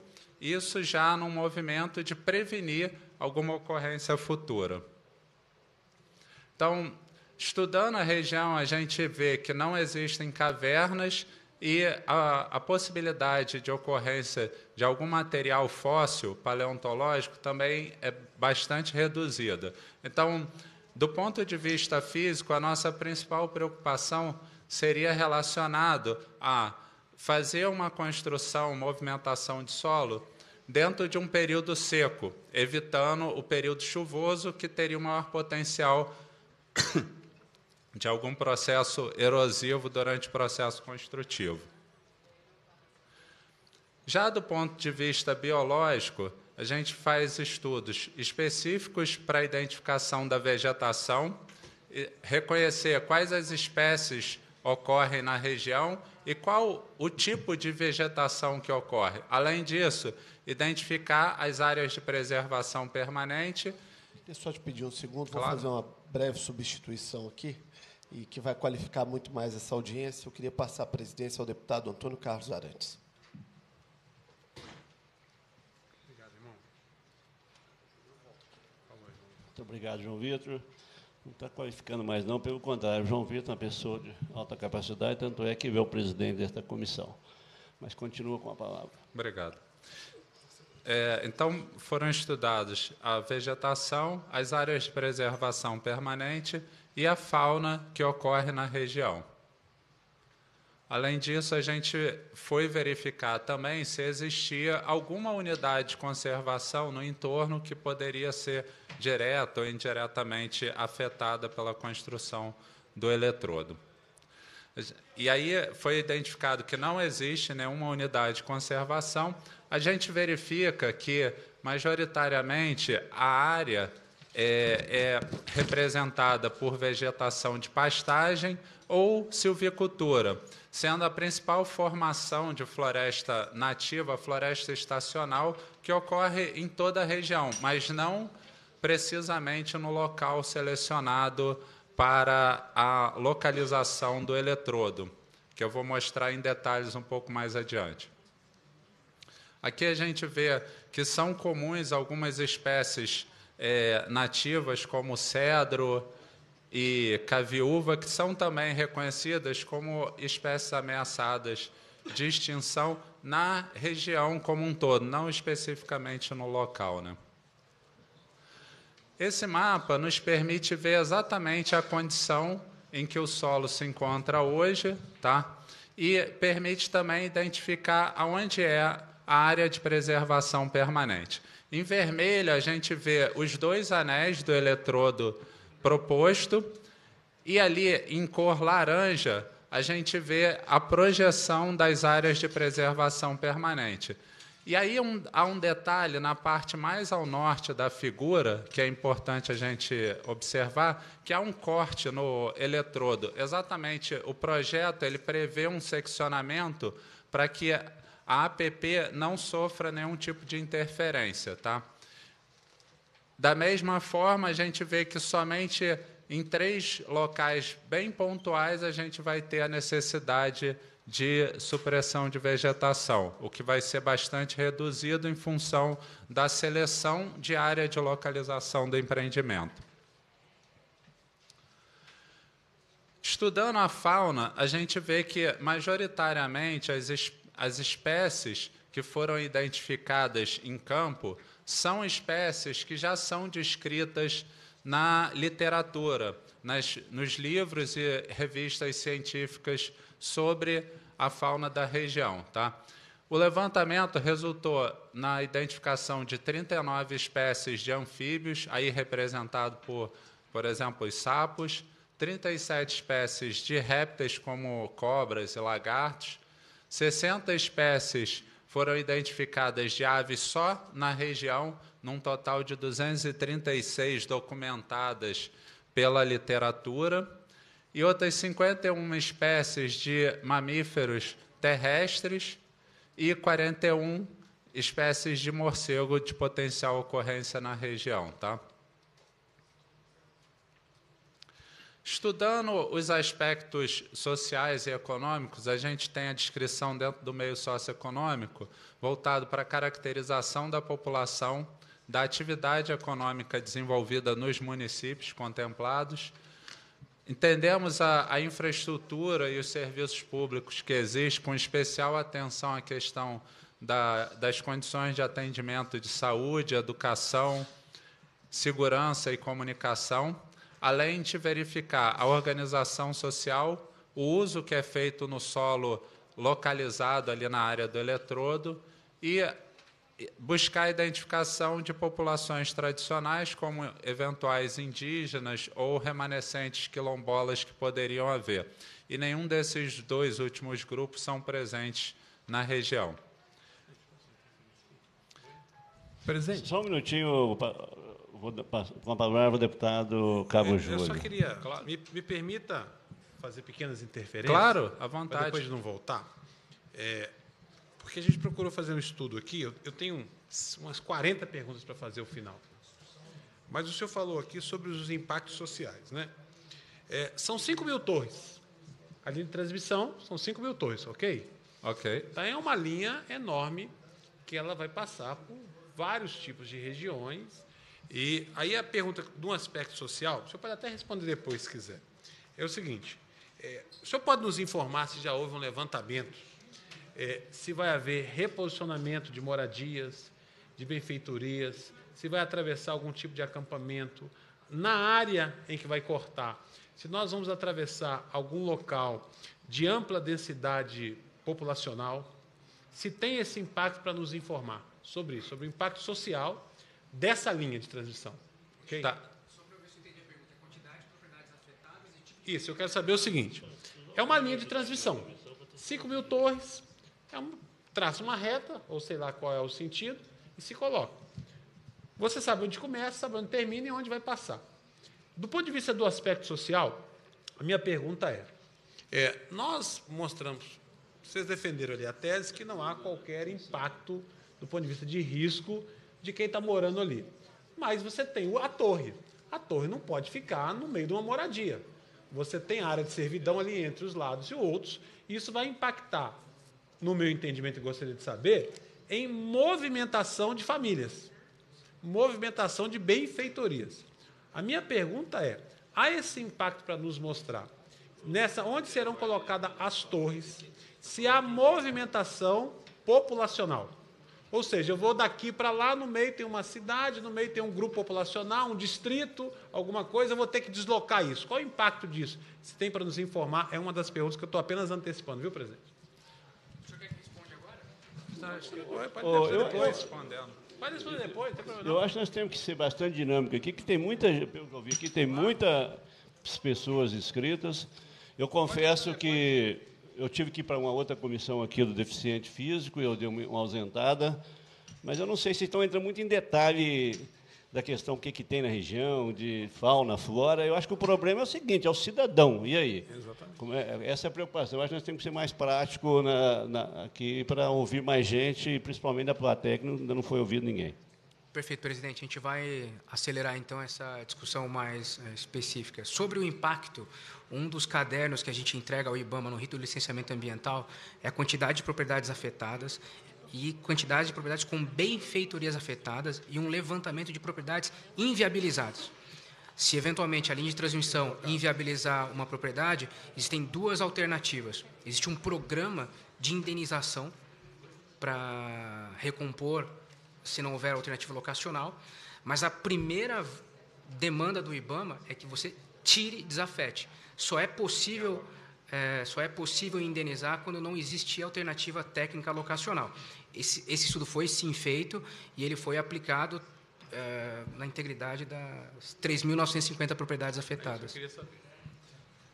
Só lembrando é, dois pontos importantes assim, dentro dos critérios técnicos de definição de localização de torres e do traçado, um deles previsto é que a, o eixo da linha se mantenha a pelo menos 150 metros de distância das residências. Então, houve um esforço desde a época do planejamento, e isso está bastante evidente dentro do EIA, para buscar esse afastamento.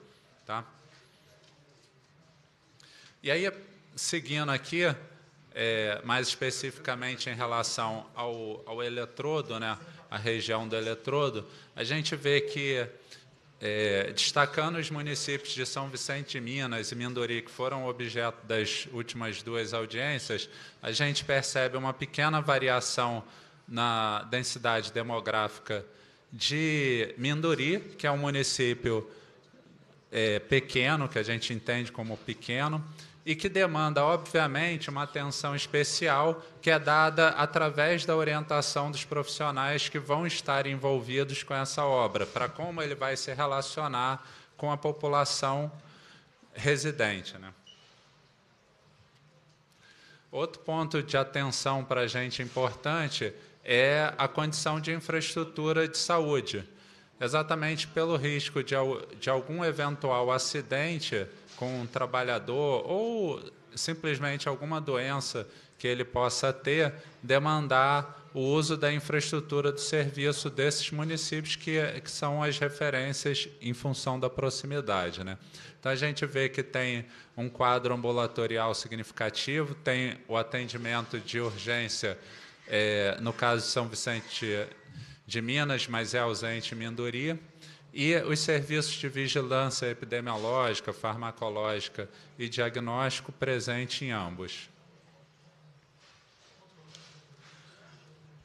Aqui um ponto importante, olhando não só para a microlocalização do, da área do eletrodo, mas para as propriedades e para o entorno direto, né, que a gente considera aí um raio de algo é, de mil metros ao entorno do eletrodo, a gente vê que tem presença de vegetação natural, ali identificada em azul como co é, cobertura vegetal, mas majoritariamente a área é uma área de pastagem. Né?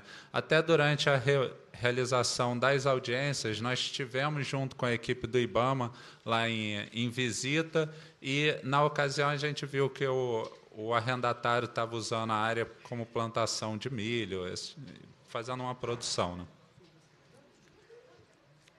Então, com base no diagnóstico que foi realizado, a equipe foi realizar a etapa seguinte, que é avaliar os impactos que efetivamente vão ser provocados pela construção e pela operação do eletrodo.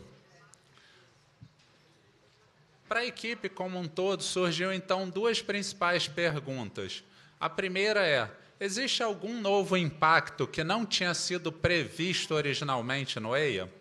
E a segunda, dentro desse cenário de impacto, será que existe a necessidade de algum programa ambiental adicional, quer seja para reduzir os efeitos negativos ou para monitorar ou controlar os efeitos de algum impacto que porventura exista?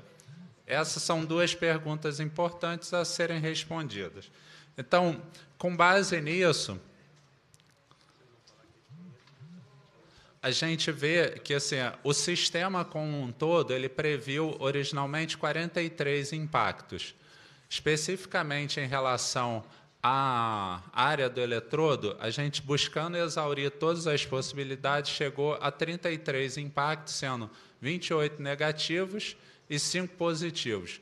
Todos os positivos estão relacionados ao meio socioeconômico, principalmente com a contratação de mão de obra, é, aumento da arrecadação local, movimento de circulação de, de mercadorias. Então, olhando para os impactos que foram identificados, a gente tem duas ações. Para aqueles impactos que são positivos, a gente busca executar ações que aumentem a, a importância desses impactos localmente, ou seja, a gente busca potencializar. Para aqueles que são negativos, a gente tem que buscar quatro maneiras de responder. A primeira e mais relevante é prevenir. Quais são as ações que a gente pode fazer para evitar que ele ocorra? No caso daqueles que a gente não tem como prevenir, a gente tem que corrigir ou, no mínimo, monitorar os seus efeitos. E não havendo como é, prevenir nem corrigir, uma medida é compensar, como é o caso da necessidade de supressão de vegetação para a implantação do sistema, que ah, é instituído, é previsto na legislação brasileira, um movimento de compensar através da reposição florestal de vegetação nativa. Então, olhando agora para os principais impactos que a gente identificou, eu vou passando os impactos e exemplificando quais são esses programas ambientais relacionados. Tá? E só para a gente ter uma visão um pouco mais ampla, a gente tem um programa de gestão ambiental que foi previsto desde lá do EIA, foi detalhado dentro do projeto básico ambiental como requisito para a solicitação da licença de instalação e que está organizado naqueles grupos de programas indicados ali. Tá? Então, um dos principais é, impactos que a gente reconhece dentro de um processo é o de supressão de vegetação. Ainda que no eletrodo sejam áreas bastante pequenas, é um ponto de preocupação, exatamente porque ele tem uma interferência direta sobre a vegetação, mas pode ter uma interferência também indireta sobre a fauna no entorno e sobre a possibilidade de fragmentação de remanescentes. E aí, para responder a esse impacto, foram propostos aqueles programas, que inclui um programa de resgate de sementes e mudas, que é o programa de resgate de germoplasma, um programa de supressão de vegetação que ajuda a orientar especificamente aonde e o que pode ser cortado, programa de reposição florestal, que, como eu comentei, é previsto na legislação brasileira, você replantar áreas nativas como forma de resposta à sua necessidade do dano ambiental. Né?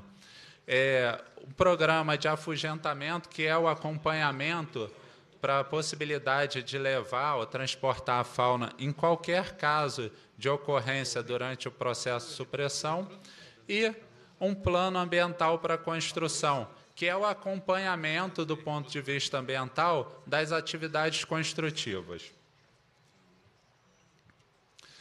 Como o Anselmo tinha pontuado anteriormente, e, e eu indiquei ali, ainda que a área que demande supressão de vegetação seja relativamente pequena, ali é indicado 0,527 hectares, a gente reconhece uma oportunidade importante de reposição florestal dentro do município, usando exatamente a área do entorno do anel, o que dá cerca de 40 hectares de floresta a ser plantada em associação com o projeto como forma compensatória à demanda de supressão de vegetação, a ser implantada através do programa de reposição florestal.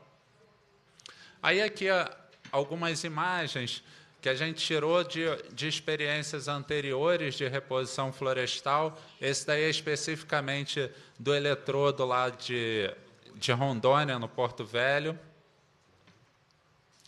Outro ponto que a gente sinalizou como relevante, como ponto de atenção, é a possibilidade de processos erosivos. E aí cabe tanto a atenção ao planejamento da obra, relacionado a trabalhar durante o período seco e não durante período chuvoso, onde poderia ter eventual carreamento, assim como as ações de recuperação, de eventualmente identificar algumas áreas que hoje já estão degradadas ou passíveis de movimento de solo. Outro ponto que. Ô, Anderson, me desculpa. Claro. Eu acho que estão enchendo muita linguiça. Sabe? estou. Pelo que eu estou entendendo, o objetivo desta audiência pública aqui é para discutir a questão do eletrodo. Qual é o impacto positivo, negativo, isso? Todo mundo sabe que para você instalar um projeto dessa magnitude, você tem que fazer preservação ambiental, você tem que fazer desapropriação, você tem que fazer realocação. Esse não é o, o objetivo da audiência, não é esse. O pessoal sai lá a 400 quilômetros de distância para vir cá ouvir provavelmente que eles já ouviram. Vamos discutir a questão. Qual o impacto que vai ter esse eletrodo naquele ponto, lá naquele local? Lá na cidade de São José de Minas, me parece que já não vai ser lá, vai ser Minduro. Isso é que nós queremos saber.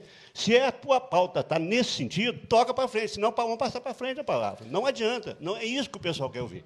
Você me desculpa, eu não posso ser, ser aqui é, grosso com vocês, indelicado, mas não dá para fazer o pessoal de bobo também. Essa é a realidade. E o que você está falando aqui não é para esse momento, não é para o requerimento que foi proposto.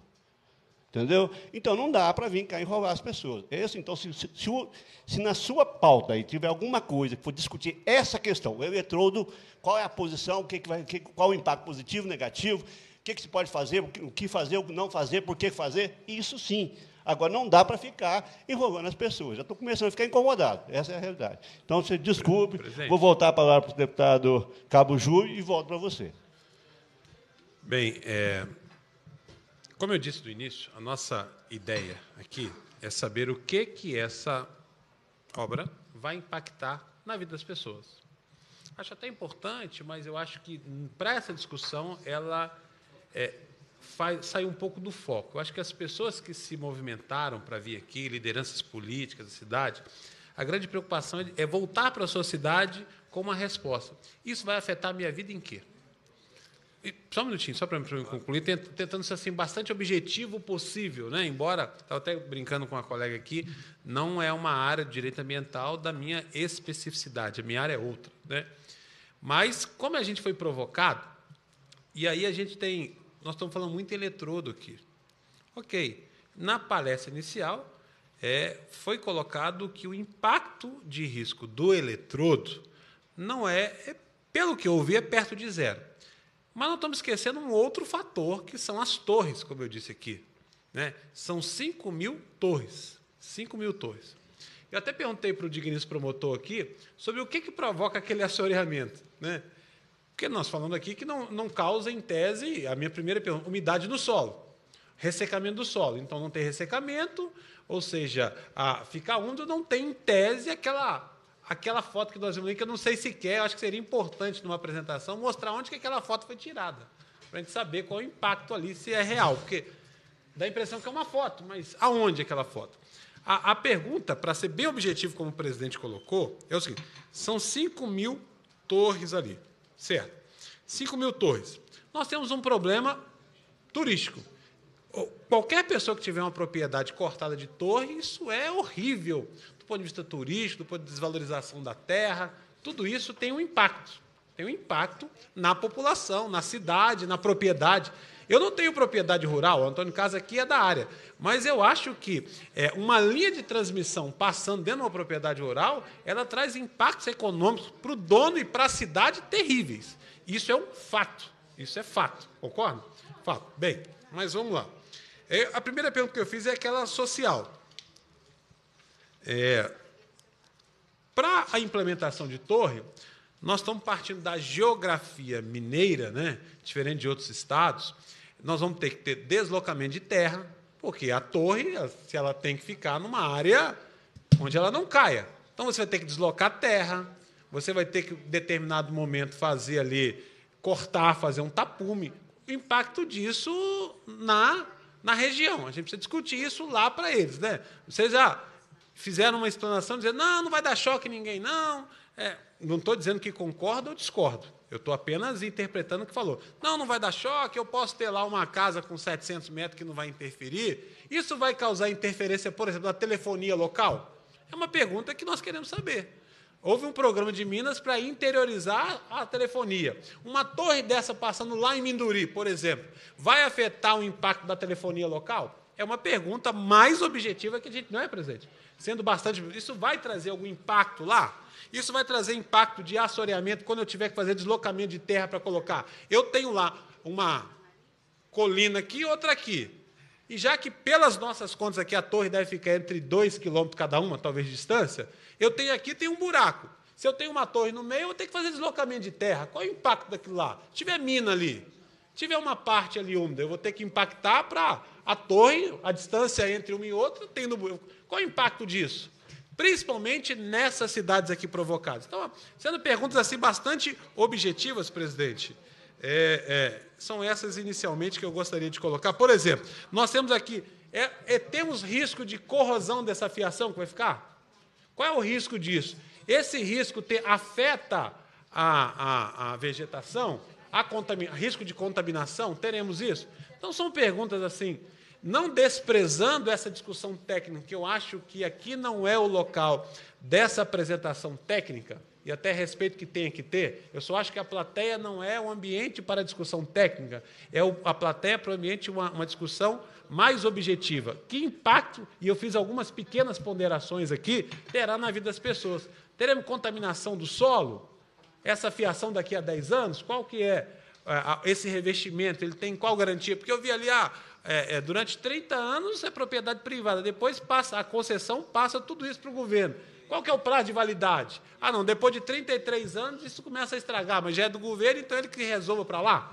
Essas perguntas que a gente queria saber, presidente. E a última, a última coisa aqui, é que se nós, aí depois é o IBAMA que eu vou, porque, isso, pelo que eu entendi, é uma decisão, houve uma recomendação do Ministério Público Federal, se o IBAMA poderá nos afirmar que nós teremos essa nova audiência pública lá em Minduri. São pequenas considerações de uma pergunta assim, bastante objetiva sobre o impacto da vida das pessoas. Ok, presidente? É isso? Que... Ok. Vê quem vai responder, então, porque nós temos que caminhar nesse rumo, não dá para ficar entrando na parte, outras que não é hoje o tema principal. Presidente, eu peço autorização para substituir meu amigo Anderson, para tentar equacionar.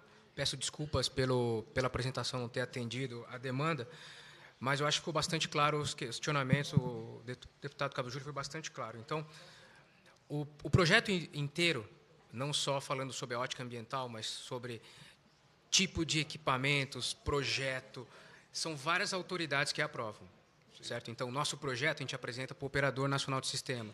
Quem definiu os critérios que tem que ser construído foi o edital da ANEL. E o IBAMA emitiu um termo de referência sobre o qual pautou os nossos estudos de impacto ambiental. Nós falamos na apresentação, talvez não tenha ficado claro, são 43 impactos negativos potenciais. 43 impactos e só 5 positivos. O primeiro deles é o transporte de energia. Ou seja, se não tivesse a necessidade de energia elétrica, não teria esse projeto. Ele só persiste por conta disso. Os 43 impactos potenciais, eles têm que ser, primeiramente, evitados. Então, existe um critério. Então, nesse estudo que ele está falando de maneira muito, é, sei lá, a, a, não está claro, desses 43, a primeira técnica, a primeira necessidade é evitar. Então, tem uma residência, desafeta. Tem um corpo d'água, desafeta. Tem uma supressão, desafeta. Se isso não for é, possível, tem que mitigar ao máximo para que ele seja o impacto menor possível. E para alguns impactos, a única maneira é compensação. Por exemplo, a linha de transmissão passa numa propriedade, ele tinha uma, um uso de solo e foi acometido por uma torre. Ele tem que ser indenizado por isso. É a maneira compensatória de evitação do impacto. É, por exemplo, nós falamos sobre risco de assoreamento de um corpo d'água ou de um desmonte de um talude de terra. Durante o processo construtivo, se ele não for bem feito, se não forem aplicados os projetos, conforme a gente apresentou no rito de licenciamento ambiental, ele pode provocar um carregamento de sedimento. Então, existe um programa que é exatamente um controle de qualidade de água, que a gente tem que fazer análise de água dos corpos antes não, e depois. Mas é a minha pergunta. Por exemplo, eu tenho uma mina d'água. Eu não posso compensar, porque esse dano ambiental não dá para compensar. Não, tá claro. É isso que eu queria então, entender. Não tem locação de torre em mina d'água. Exato, sim, sim. Não tem locação de torre em mina d'água. Sim. Eu vou ter que fazer aqui uma interrupção, porque tem um convidado que é o Fernando. Ele tem um voo para Brasília daqui a pouco, e se não falar agora, parece que ele teria que ir embora. Eu acho que nós não podemos deixar de ouvi-lo, porque está vindo de, de, Brasília, e aí a gente volta a palavra para você. O nome é Fernando o quê? Fernando José Carvalho França, ele é da ONS, né? que é fundamental ouvi-lo. Então, fica. Pode, pode ficar aqui, Fernando José Carvalho França, por favor, da Operação Nacional de Sistema Elétrico.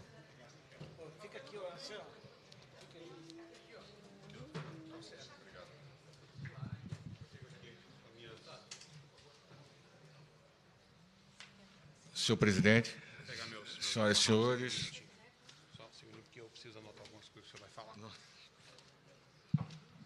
Obrigado. Eu, eu, eu tinha até uma, uma, apresentação, mas eu acho que, em função dos debates, acho que é, é importante priorizar aí a oportunidade de todo mundo é, perguntar, esclarecer, enfim, acho que esse, essa reunião, ela, essa audiência é bastante oportuna e o ONS ele está sempre disponível para prestar contas aí do que cabe na, na, na, sua competência, o que lhe cabe. Tá?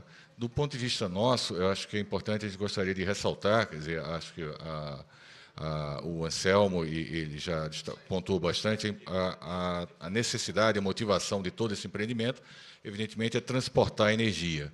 Então, do ponto de vista é, da operação do sistema, o sistema, esse bipolo ele é essencial para que a gente consiga equacionar o atendimento é, é, ao mercado consumidor brasileiro, considerando que a expansão que a gente tem é, planejada e em curso né, é, a, a, toda a necessidade de, de energia para a indústria, para o comércio, para a residência, ela está calcada em, em, na construção de usinas que estão sendo colocadas na, na, na região amazônica, basicamente, são grandes usinas, e na, nas fontes é, não convencionais, é, é, as fontes renováveis, tipicamente a energia eólica, a energia solar. Tá?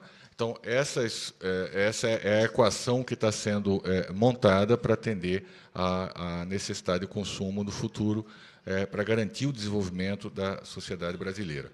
E, nesse sentido, a, a grande. É, é, é, a gente tem, a, a, em função da característica do aproveitamento já das usinas mais baratas, mais econômicas, mais próximas do centro de carga, o que a gente tem hoje são usinas na Amazônia com um perfil muito característico de ter muita disponibilidade de geração durante o, o verão é, do período úmido e pouca no período seco, e é, não não, é, são usinas que não têm reservatório, ou seja, se a gente não transmitir aquela geração, aquela a geração vai ficar perdida e a gente tem que substituir por um outro tipo de geração que normalmente é mais cara, né, é, em alguns casos tendo necessário inclusive acionar térmicas, né, isso com impacto sobre a tarifa é, do consumidor.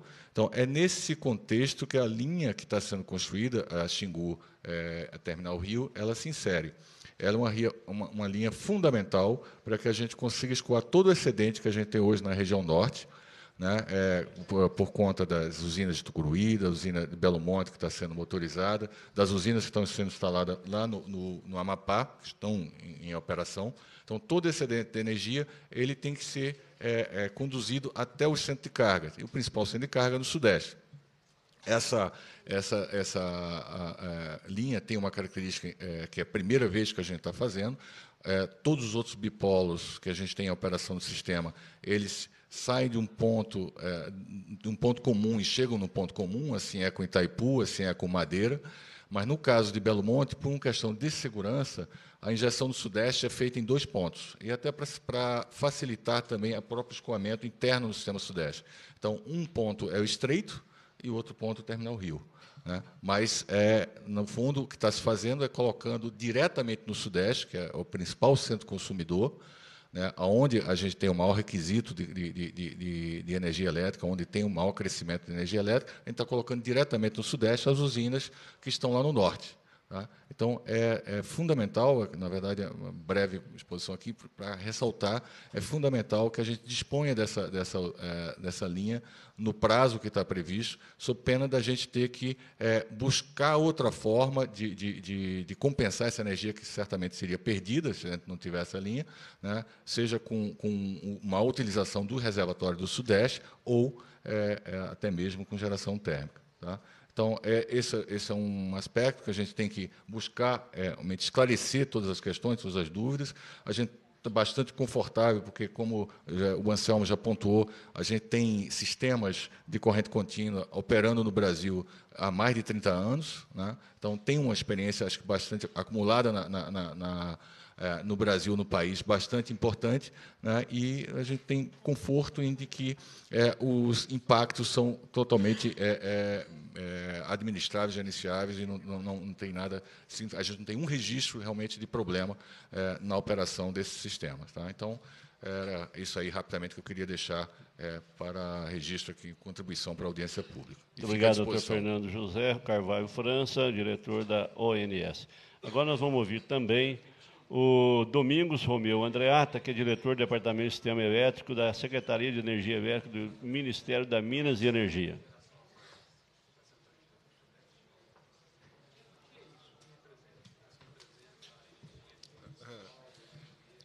Boa tarde, deputado Antônio Carlos Arantes. Boa tarde, eh, Cabo Júlio, eh, prefeitos, vereadores e demais participantes dessa audiência.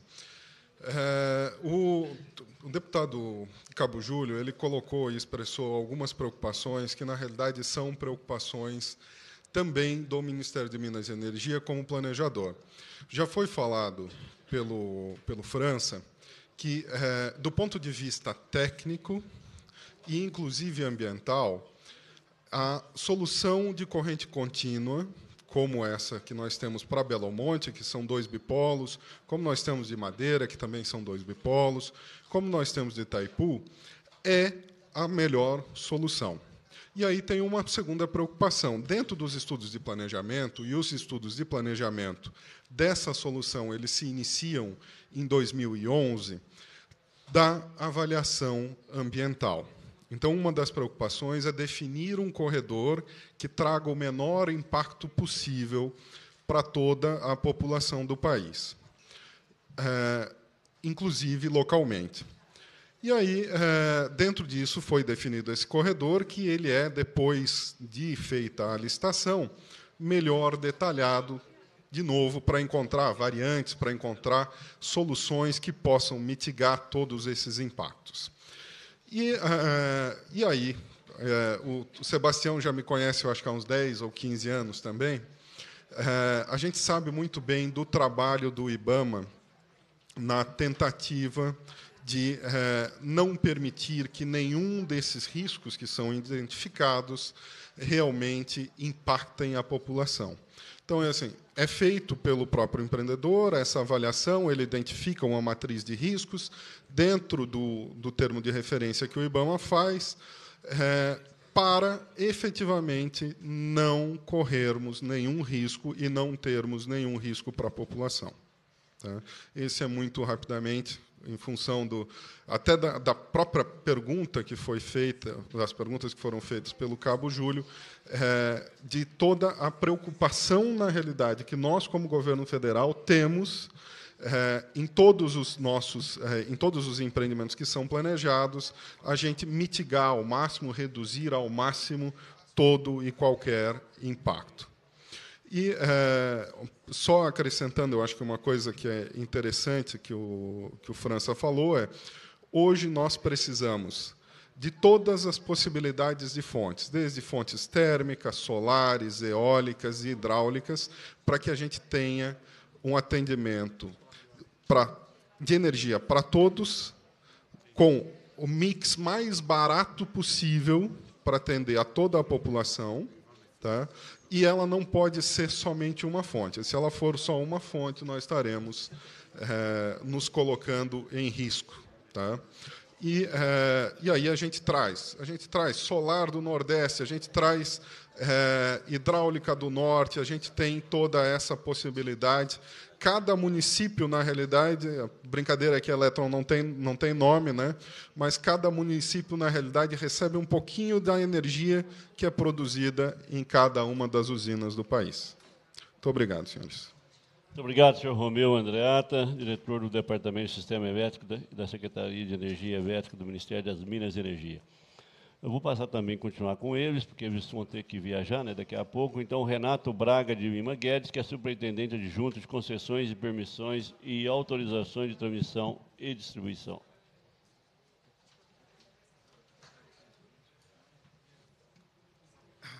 Boa tarde, boa tarde a todos. Ah, na figura do deputado presidente da comissão e do Cabo Júlio, proponente da, da, da audiência, eu cumprimento a, os demais participantes da mesa e, e todos os presentes. É, bom, é, os colegas que já me antecederam já explicaram muito bem a importância da obra por, é, e, e, e, as consequências da não entrada em operação desse empreendimento. Né? Esse empreendimento que é importante para o país. É, não é importante só para Minas Gerais ou para o Sudeste, é importante para o país inteiro.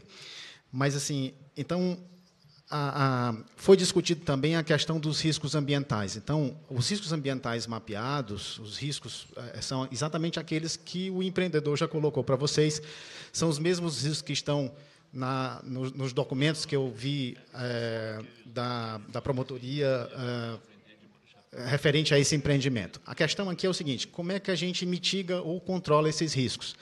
Todos esses riscos mapeados têm, como já explicaram aqui, é, soluções técnicas que são possíveis de serem implementadas para que nós possamos é, é, controlar e eliminar qualquer tipo de, de, risco, seja ambiental ou seja para as pessoas. Então, é, na prática, funciona assim. Como já foi comentado aqui também, o contrato de concessão, que é desenhado lá na Agência Nacional de Energia Elétrica, o órgão onde eu trabalho, estabelece as condições de contorno técnicas que têm que ser observadas pelo empreendedor na, na, ao implantar um empreendimento. Então, é, é, o contrato de concessão é público, está no site da ANEL. Se os senhores quiserem ler, qualquer pessoa pode entrar, baixar, fazer um download, ler e analisar. O anexo técnico que descreve especificamente o eletrodo é bem detalhado e estabelece condições técnicas, que são aquelas que, que o, o empreendedor apresentou aqui, é, de limite de corrente, de densidade de corrente, de limite máximo de tensão de passo. Todas essas condições técnicas foram avaliadas e elas estão em linha com as melhores normas internacionais e as normas brasileiras também referente a esse tipo de assunto, de emissão eletromagnética, de, de tensão de passo e etc. Bom, aí a pergunta de vocês pode ser assim, tá bom, mas quem garante então que essas normas de fato vão ser cumpridas na instalação? A resposta é o seguinte: o procedimento que a gente estabelece, a agência trabalha em quatro etapas. Primeiro, na quando a gente recebe o plano de outorgas que vem lá do planejamento, então já foi explicado aqui que existe um, um, órgão planejador do sistema elétrico brasileiro que estabelece lá quais são os empreendimentos que precisam ser construídos e os traçados. Isso vai para o Ministério das Minas e Energia e é consolidado num plano de outorgas, que é então encaminhado à agência. A agência avalia, mais uma vez, tem uma segunda avaliação a respeito desse plano de outorgas, e aí a gente estabelece os editais dos leilões de concessão. A gente trabalha, a segunda etapa é estabelecer os editais e operacionalizar os leilões de concessão. Bom, é, esses documentos que, são, que, que, constituem os editais de leilão de concessão são vinculantes. Eles passam a compor o contrato de concessão assinado pelo, pelo, pela empresa, no caso aqui a XRTR. E todas aquelas condições de contorno que eu falei aqui estão no contrato de concessão. Ao final, uma vez aí a gente operacionaliza a licitação, é, é, é declarado um vencedor do leilão, a questão do, da prestação do serviço ao menor custo, e aí a gente passa para uma outra etapa do trabalho da agência, que é acompanhar a implantação do empreendimento.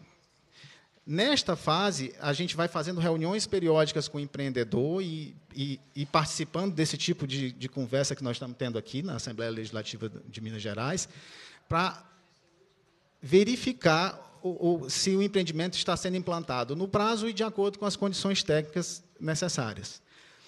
No fim do processo, o projeto básico do empreendimento tem que ser aprovado, em primeira instância, pelo Operador Nacional do Sistema e depois por nós na Agência Nacional de Energia Elétrica, e, neste momento da aprovação do projeto básico, são verificados, deputado, é aquelas condições técnicas que estavam presentes no edital e, posteriormente, foram passadas por contrato de concessão. Então, assim, é, o que eu queria deixar como mensagem para vocês. Além disso, também tem a questão do, do avaliação ambiental no sentido mais amplo, que é feito pelo IBAMA, que é o órgão ambiental competente para conceder as licenças de instalação e depois a licença de operação. O empreendimento não entra em operação se não tiver a licença de operação emitida pelo IBAMA e se depois não tiver é, é, todas as, as, pendências impeditivas é, é superadas na avaliação que é feita primeiro pelo UNIES e depois por nós na, na Agência Nacional de Energia Elétrica. Então, assim, não é feito de qualquer jeito, nem este empreendimento, nem empreendimento nenhum do sistema de transmissão do Brasil é feito de qualquer jeito. O empreendedor implanta como quer. Existem regras, existem condições de contorno que são depois avaliadas por nós para garantir que o que foi implantado tenha aderência ao que foi contratado. Essa é a mensagem principal que eu queria deixar para vocês. Só antes que o senhor sair da mesa, o doutor Avex Fernandes Santiago, que é o promotor de justiça, ele sentiu incomodado, quer, quer fazer uma intervenção. Então, fica à vontade, doutora Vex. Muito obrigado, senhor presidente, pela oportunidade de debate. O senhor definiu bem, é incomodado mesmo. O senhor fez uma afirmação que, respeitosamente, eu tenho que discordar. Não, o senhor afirmou que o estudo de impacto ambiental apresenta as mesmas conclusões que o documento do Ministério Público em relação à discriminação dos impactos. Pois é exatamente isso o contrário que o Ministério Público disse nesse estudo. O Ministério Público diz, no laudo que foi elaborado, que o estudo de impacto ambiental é incompleto, que não foi até a área, não trouxe dados primários, que trouxe apenas dados secundários. Então, como é que o senhor pode dizer que a conclusão deles é a mesma que a nossa? Não tem como afirmar isso. Senhor promotor, senhor, então, só para... Não, não, deixa eu continuar. Eu escutei claro, o senhor com atenção. Tá com, agora, agora tá com a doutora Vex. Sem nenhum problema. É? Essa é a primeira questão. Então, senhor, por favor, não traga o Ministério Público junto com o estudo Não, de não, impacto não. ambiental que foi apresentado. Não é a conclusão, não é a mesma. O senhor disse, eu tenho que discordar, porque o senhor vai pegar o avião e ir embora e eu vou, não vou Claro, falar claro, aqui. sem dúvida. Aliás, muito estranho isso também. A audiência pública é para ficar até o final. A população veio lá para ser ouvida. Quem veio lá de Minduri, de Andrelândia, de São Vicente, de Bom Jardim, é para ser ouvido. Uma audiência pública, a única coisa que eu tenho certeza é que ela tem hora de começar, a hora de terminar não tem. As outras todas foram até de madrugada. Posto isso, além disso, o senhor vir aqui falar foi obedecer aos melhores estudos internacionais e técnicos. O empreendedor também disse isso na primeira audiência pública. E jurava de pé juntos que o melhor lugar do mundo para instalar o eletrodo era em Andrelândia. E ele também falou que estava obedecendo às melhores normas internacionais e técnicas para definir a Andrelândia como o melhor local. Depois disso, ele já mudou para São Vicente e agora está em Minduri. Então, essa afirmação eu não posso concordar com o senhor. Tá. Respeitosamente. Não, Com a claro. palavra, doutor Renato. por favor. Não, certamente. É, eu peço desculpa se eu, se eu fui mal interpretado. Na verdade, o que eu quis dizer é que a- os impactos ambientais projetados aqui na tela são, a- até onde eu consegui perceber, os mesmos que eu li no estudo de impacto O nosso ambiental. estudo diz que eles não estão suficientemente identificados, então não, há como chegar Não, a essa não, não, conclusão não, não, que o senhor perfeitamente. Eu não estou dizendo que o- que o estudo de impacto ambiental apresentado pelo empreendedor é, está alinhado com, com, com o senhor. O senhor tem toda a razão, eu não, não tenho como afirmar isso. O que eu estou dizendo é que os que nós discutimos aqui são, até onde eu consegui compreender, claro, respeitosamente, os mesmos. é Na verdade, são os mesmos, os mesmos impactos ambientais que a gente vê na literatura eh, convencional sobre o tema. Eu não vi nenhum novo aqui, nem lembro de ter de nenhum que eu tenha lido que não esteja aqui. Eles costumam ser os mesmos. Essa a questão da corrosão, questão de risco de tensão de passo, e, é, são, são, são sempre os mesmos do ponto de vista é, elétrico, que é a minha área de, de, de estudo. É, então, assim, eu desculpe, talvez eu tenha, tenha feito me entender errado, não, não foi nenhuma minha intenção colocar o senhor é, alinhado ou, ou contra nada, não, sob nenhuma hipótese, respeitosamente. Mas, assim, o que eu estou dizendo a vocês é o seguinte: o, o- o- contrato de concessão já estabelece as regras, ou, ou condições de contorno, não regras, condições de contorno técnicas que visam mitigar é, qualquer desses impactos que a gente vê na literatura, né, que a gente está discutindo aqui. É, e até onde eu li nos documentos que, que, eu, que eu tive acesso, são os mesmos impactos ambientais, é o mesmo conjunto de impacto ambiental, não tem nenhum novo, como eu acabei de comentar. É, então, a- o que eu estou querendo deixar como mensagem para vocês é o seguinte: é, o- IBAMA verifica a questão ambiental no sentido mais amplo, na na questão de, de- de, é, não só na parte de impactos decorrentes da operação elétrica do- do- do- da instalação, mas também no impacto de meio ambiente, de, com vegetação, com animais, que é a área de estudo do IBAMA. E se o projeto for implementado de acordo com o que consta no edital de concessão, nós não temos nenhuma expectativa de que apareça algum impacto ambiental não mapeado, porque, como o colega do ONS já comentou, existem outros eletrodos de aterramento em, em operação no Brasil e, até onde nós sabemos, não há registro de nenhum acidente ou de problema que tenha causado ao meio ambiente. Era isso que eu queria deixar claro para a Assembleia. Entendeu? Muito obrigado. Só para para registrar também, nós estamos ao vivo, né? são mais de 300 cidades, estamos também pela internet, inclusive com várias perguntas, inclusive a do pessoal de Minduri, e que eu espero que dê tempo. Eu, como diz o doutor Alex, e, e muito me deixa feliz quando ver o doutor Alex nesta mesa, sabe, gente? Eu confesso que a hora que eu vim aqui eu fiquei na dúvida, porque a cabeça dele branqueou um pouquinho mais, mas ele está mais novo. Mas é o Ministério Público sério que está aqui. Eu conheço ele de muitos anos, inclusive nas discussões do Código Florestal Brasileiro e Mineiro. Ele deu grandes contribuições, é uma pessoa muito equilibrada. Então, nos anima muito, doutor Avex, quando vejo que esta, esta causa tão importante está aí sob também, sob o seu comando também. Eu volto a palavra Pela, o pessoal ordem. da empresa não tinha terminado. Eu não sei se seria o melhor acabar com, eh, terminar eles terminarem Sim. e É porque eu gostaria de fazer depois uma pergunta para o ONS. Vocês estão indo embora, não, né? Ah, então tá bom. Bom, a informação que tínhamos que vocês. Antes disso. O, oi? A empresa já terminou? Bom, então, Fabiano, vamos ouvir o prefeito primeiro, se você concordar, porque o prefeito poderia também trazer aí a, a base lá da, da região.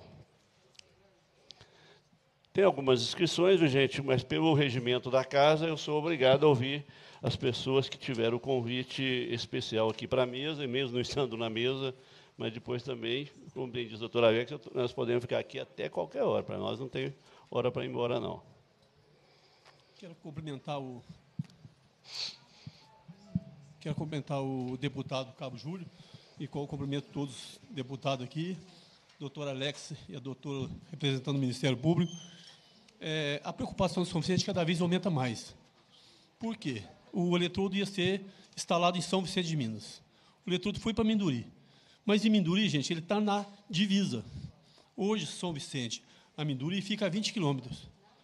Então, é, São Vicente está sendo cortado por duas linhas. Uma linha de transmissão de 800 kV né, e a do eletrodo. Então, está todos os ônus tá no município de São Vicente de Minas. Minduri, na verdade, só está ficando, só está cedendo espaço para colocar o eletrodo. Todo o impacto maior está sendo no município de São Vicente. Então, a preocupação é muito grande. Igual é, o Anselmo falou, é, a respeito da saúde de, de, é, do, do, pessoal que vai trabalhar na empresa. Minduri, hoje, é, a demanda que, que vai vir para o município não vai comportar. Na verdade, esse pessoal vai ser atendido no município de São Vicente de Minas. E vai aumentar a demanda do município. E como que vocês vão resolver essa parte da demanda do município na área da saúde? Então, a preocupação da gente é muito grande, sim, porque é, todos os ônus estão ficando no município de São Vicente. Então, é, duas linhas. A saúde, que são é muito próximas, São Vicente de Minduri, todo, toda a saúde vai vir para o município de São Vicente de Minas, para o hospital de São Vicente, que vai receber essa, essa demanda de saúde. Então, a preocupação da gente é como que vai ser o impacto na saúde de São Vicente. Né? E eu queria também aproveitar que a doutora pediu uma audiência pública em, em Minduri, pedi colocar o espaço lá, que eu participei da audiência pública lá, não foi muito bom, doutor. O senhor viu que a senhora viu que não tinha como lá, ninguém ouviu nada lá, ninguém participou de nada da audiência pública lá, porque não tinha como ouvir nada. Ninguém ouviu, o som estava muito ruim.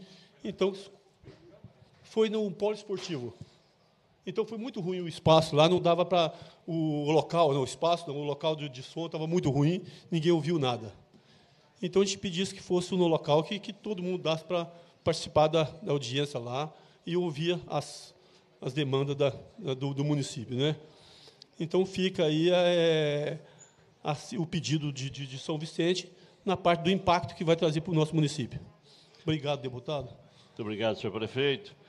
O, prefeito, eu confesso que eu me assusta quando você fala assim, olha, nós, o impacto da saúde vai gerar é, custos lá no próprio município. Quer dizer, então já está errada a rede, não pode ter.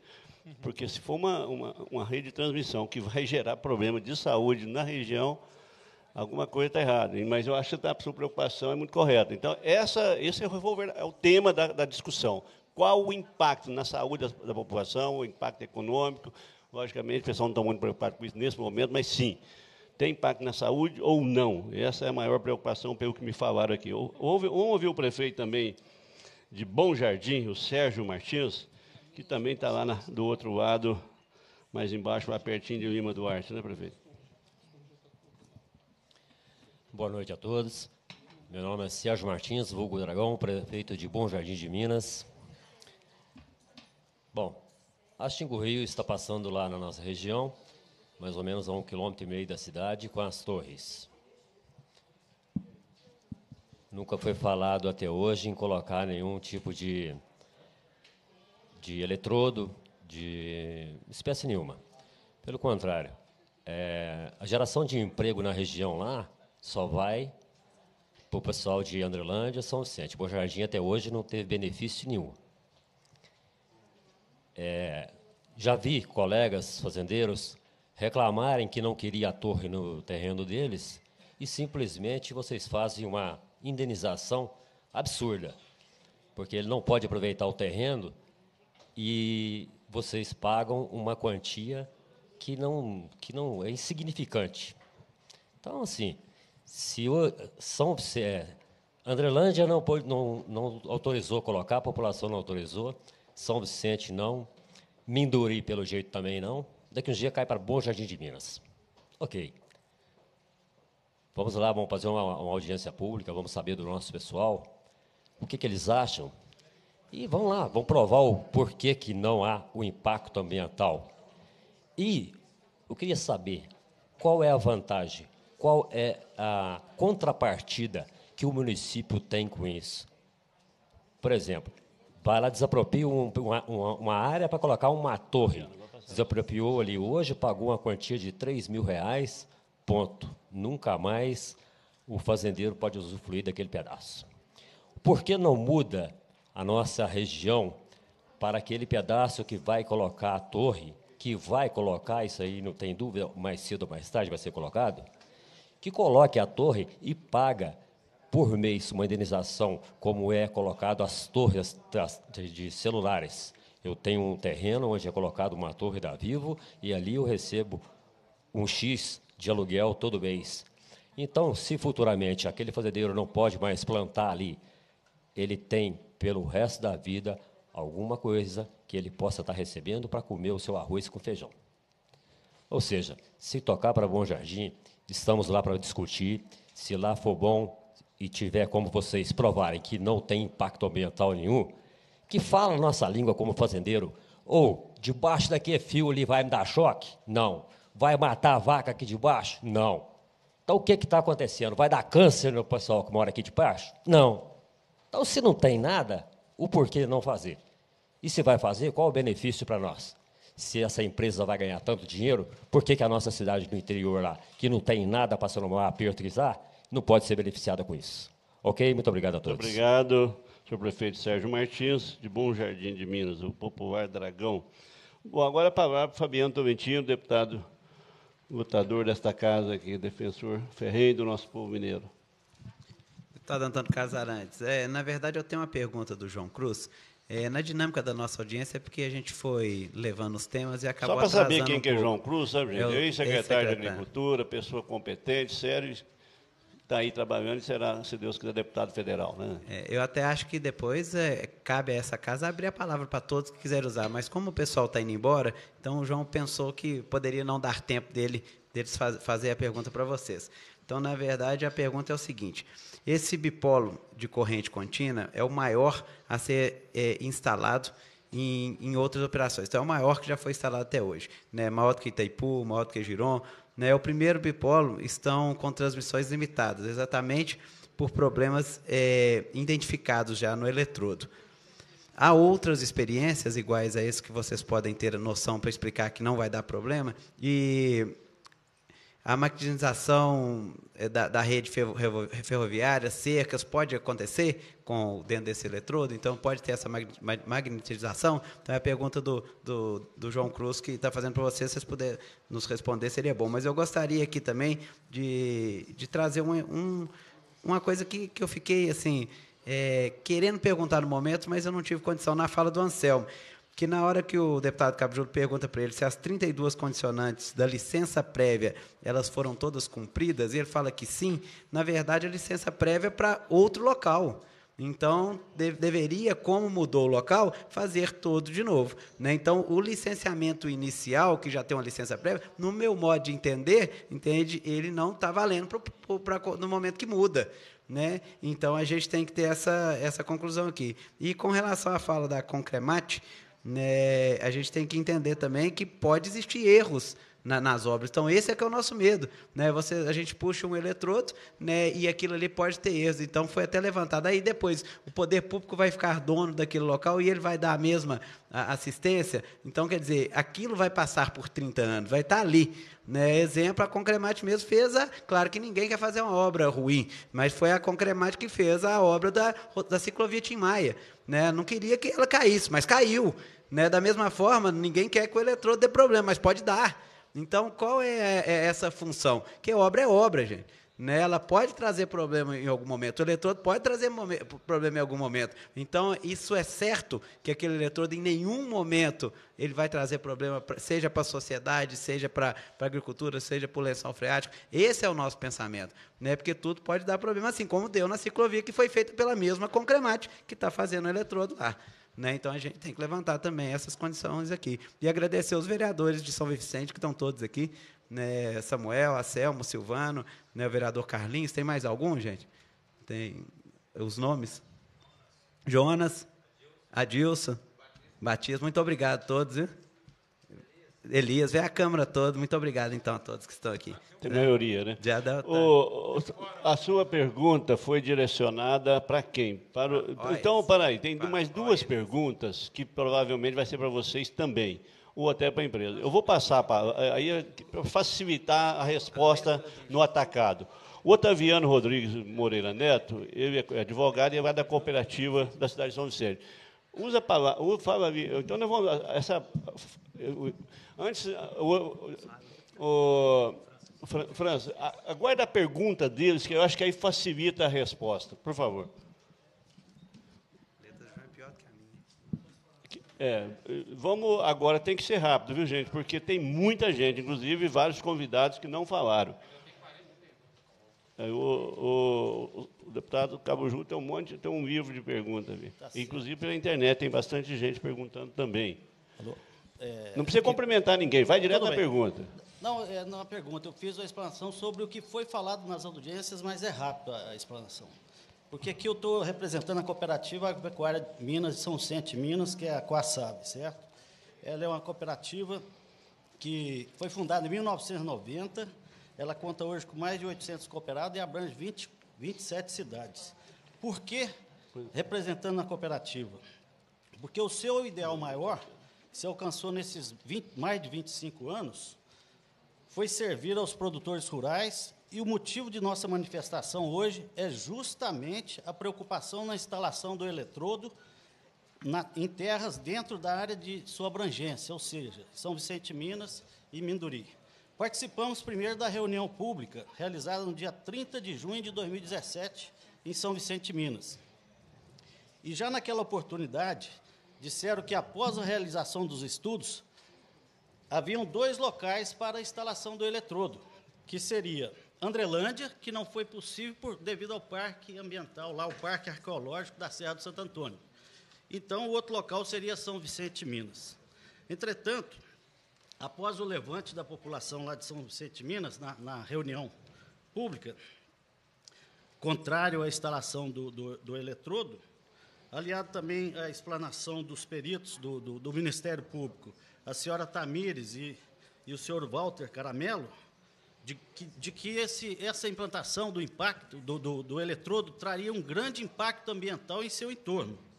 Então, foi percebido que instalar o eletrodo em São Vicente, Minas, a população não estaria a favor, até mesmo porque o novo prefeito Alair aqui, é, Jacinto Alair, juntamente com a população, por ser o representante do povo de São Vicente, Minas, também naquele momento posicionou firme e forte, contrário à instalação do, do eletrodo. E nesse mesma, nessa mesma reunião, foi solicitado ao, ao, coordenador do IBAMA, que estava lá representando o, o IBAMA, seria o, o senhor Roberto Witt, que acho que não foi o senhor, né? uma audiência pública, porque naquela, naquela ocasião foi feita uma reunião pública, que não tem os mesmos valores de uma audiência pública, e que ficou definido que, que, que, que seria feito uma próxima audiência pública, como foi feito em Minduri, no dia 29 de 1 de 2018 e no dia 30 em São Vicente, mas já definindo naquela época já que seria implantado o eletrodo em São Vicente. Vejam bem, passaram somente três meses. Seria em São Vicente, estudo levantado, tudo. De repente, opa, São Vicente fez o levante aqui, então agora não, nós vamos passar para Minduri. Então, e outra coisa, um detalhe importante que foi colocado ali. O local onde que seria, em São Vicente, está tá próximo, só pulou o rio. E se vocês notarem também, ali, todo o entorno é, tem, tem, um, tem um, água, tem ribeirão. Se voltar ali, aquela, aquela foto que eles colocaram, além disso, ainda tem plantações de milho. Não está tendo, claro, desbaste ambiental nenhum, mas tem uma plantação de milho que lá, em São Vicente, nessa região, se colhe média de 200 sacas de milho por hectare. A média mineira nacional está em volta de 140. colocando Tá, aqui não, a média nacional hoje é ce- é 100 sacas por hectare. 100 sacas. Lá está colhendo muito 200 menos. sacos, É, deputado. Para tá, ver parabéns. como está avançado lá o Nem agronegócio. isso. Hoje nem isso, nem 6 mil é, É. a média. Então, se nós colocarmos antes, esse, esse, é, porque a minha base foi no outro estudo, que seria 170 hectares, né?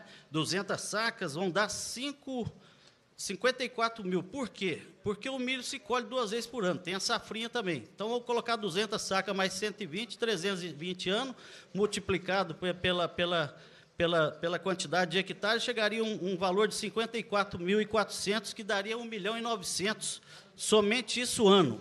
Aliado ao fato que do lado de onde está sendo implantado o eletrodo, tem um grande área, Serra Bela, lá, que emprega mais de 50 pessoas, um lugar turístico, que tá, vai ser prejudicado fortemente também. Então, é, em contrapartida, né, o que, que, o, o que, que, que foi, foi explanado pelo pessoal da Xingu Rio lá em São Vicente? Os benefícios.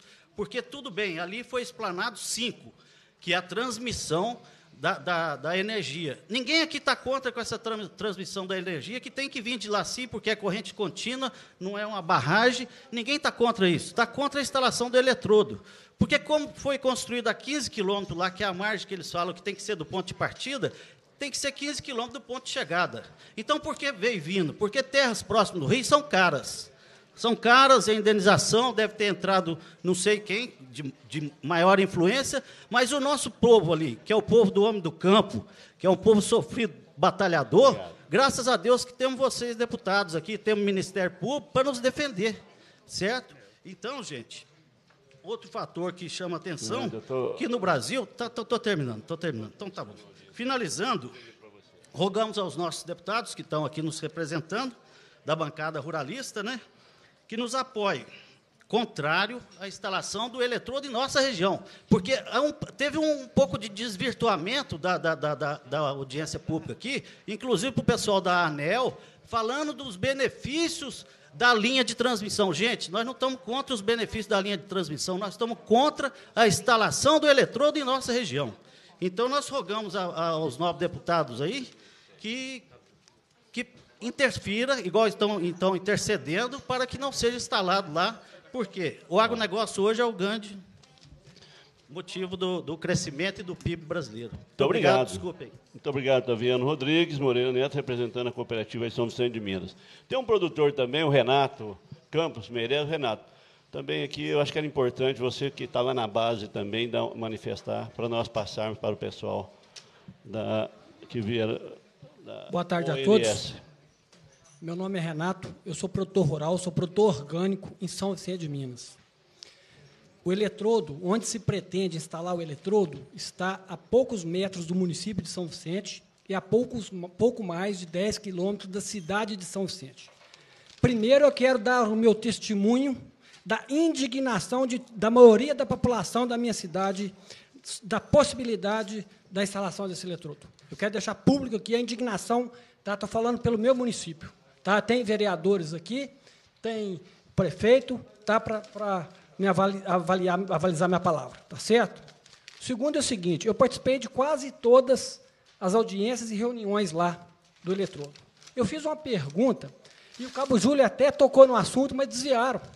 Viu, Cabo Júlio? A minha dúvida é a mesma da eu ainda sua. não fiz, eu tenho um tanto de perguntas para É, fazer. mas, mas desviaram, tá? Eu vou repetir a pergunta que eu fiz numa das reuniões. Quem aqui, quem aqui mediu a radiação eletromagnética de um eletrodo em funcionamento no entorno do eletrodo? Levanta a mão. Isso que eu falei. Para mim, fica claro que nós não temos elementos suficientes para comprovar que a instalação desse eletro- eletrodo não vai prejudicar a população de São Vicente de Minas. Então, essa é eu quero deixar relatado aqui essa indignação minha aqui. Eu tenho aqui em mãos ó, um aparelho de medir radiação eletromagnética e dois celulares, tá? um mais antigo e um mais novo. O mais antigo emitia radiação. Depois dessa reunião, está à disposição para quem quer ver medir. O mais novo já foi corrigido. As primeiras televisões emitiam uma intensidade grande de radiação, as mais novas não. Corrigiram. Agora, e o eletrodo? Se emitir, vão corrigir? Eu acho que nós precisamos tá, de mais provas. Tá? Papel aceita tudo. Muito obrigado a todos. Muito obrigado, Renato. Bela contribuição. Eu vou voltar a palavra para o doutor Alex, para que ele faça mais uma, uma, dê mais uma contribuição para esta audiência. E desculpa, viu, Fabiano, mas aí depois eu vou passar para responder as suas perguntas, e do sargento e também do, do Cabo Júlio. Agradeço a gentileza, deputado Antônio Arantes. O objetivo é contribuir com o debate. Vou pedir que os peritos já se aproximem, que eles vão fazer a apresentação para nós, enquanto eles estão se aproximando. Queria lembrar para os senhores o, a inquietação, a inquietude que o Cabo Júlio, o senhor deputado, o senhor deputado Antônio Arantes, o senhor deputado Tolentino, participações muito bem colocadas, bem incisivas. A inquietação que os senhores estão tendo aqui, nós também tivemos nas audiências públicas nas audiências públicas, não só nessa, como em geral em muitos empreendimentos, os senhores se coloquem na posição do empreendedor. Ele quer que o empreendimento seja aprovado. Ele não vai falar de todos os inúmeros problemas que o empreendimento tem. E isso nos traz uma preocupação ainda maior quanto à análise feita pelo IBAMA. Não se podem admitir, como estão sendo admitidos nesse caso, dados secundários e não estudos da área, onde foi definido exatamente na área. Eu quero registrar aqui, especialmente na questão de Andrelândia, o estudo de impacto ambiental apresentado desconsiderou completamente as áreas tombadas. Foi afirmado na audiência pública pelos consultores do empreendedor que não havia nenhum tombamento que impedisse a instalação do eletrodo em Andrelândia. E nisso eles estavam redondamente equivocados.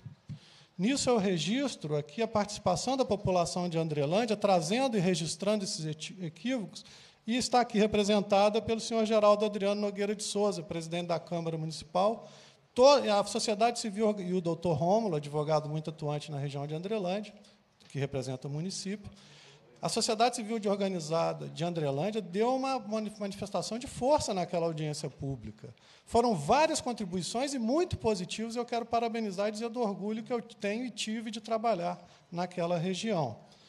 Além disso, nós temos que registrar que o estudo de impacto ambiental ele traz em mais de uma oportunidade, isso está lá no final, quando vai ler o comparativo das opções de áreas do eletrodo, o próprio empreendedor, após dizer que não deveria atacar a implementar o empreendimento em áreas de preservação permanente, escreveu quatro vezes para quatro áreas diferentes, reconhecendo que a área de preservação permanente escreveu o seguinte: não vejo problema em convencermos o IBAMA disso. Isso está no estudo de impacto ambiental aqui no volume 1, capítulo 5, página 201 de 210. Não dá, gente. Se o empreendedor não está levando com seriedade o IBAMA, nós devemos nos preocupar. Nós devemos preocupar profundamente. Além disso, essa gestão de riscos, nós vemos nos estudos de impacto ambientais que não há um detalhamento suficiente. O empreendedor, na primeira audiência pública, não trouxe nenhuma análise de Andrelândia, o presidente da Câmara aqui vai lembrar, eles ficaram mostrando fotos da Amazônia. Eles não mostraram nada para Andrelândia, eles reconheceram ao final da audiência que precisavam de fazer outra para apresentar como é que era em Andrelândia. E aí nós fomos para a segunda, o que, que era? Já não era mais em Andrelândia, era em São Vicente. A população de São Vicente não foi. Eles nunca iam imaginar que o empreendimento ia ser lá. A gente acreditava na segunda audiência que seria em Andrelândia, fomos preparados para isso. E agora São Vicente passa para Minduri. Essas são apenas algumas questões que estão sendo pontuadas. Reiteramos nossa fé no IBAMA, de que ele entenda que a participação popular, e aqui é uma casa legislativa, é a Assembleia Legislativa, o povo de Minduri não participou da licença prévia. Os senhores já pegaram o carro andando com licença de instalação sendo discutida. Os senhores não tiveram oportunidade de participar dessa discussão. Os senhores nem imaginavam que isso ia cair no colo de vocês. Então, feito esses lembretes, eu passo ao engenheiro ambiental Tamires e ao engenheiro agrônomo Walter Caramelo para que tragam questões mais específicas técnicas que eu acho que contribuirão para o debate. Eles têm uma apresentação preparada para os senhores. Fique à vontade. Usa o microfone, Ivan. E tem uma, um técnico aqui. Cadê o Rafael? vídeo lá, ó, apresentação. Apresentação lá. Quer que eu vá passando para você aqui? Por favor. Você só acessou hoje aqui, tá lá. Tá passando. Se você mandar aqui, eu vou passar.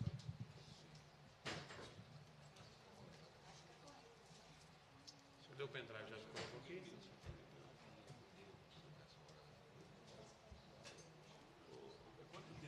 Chapisca lá.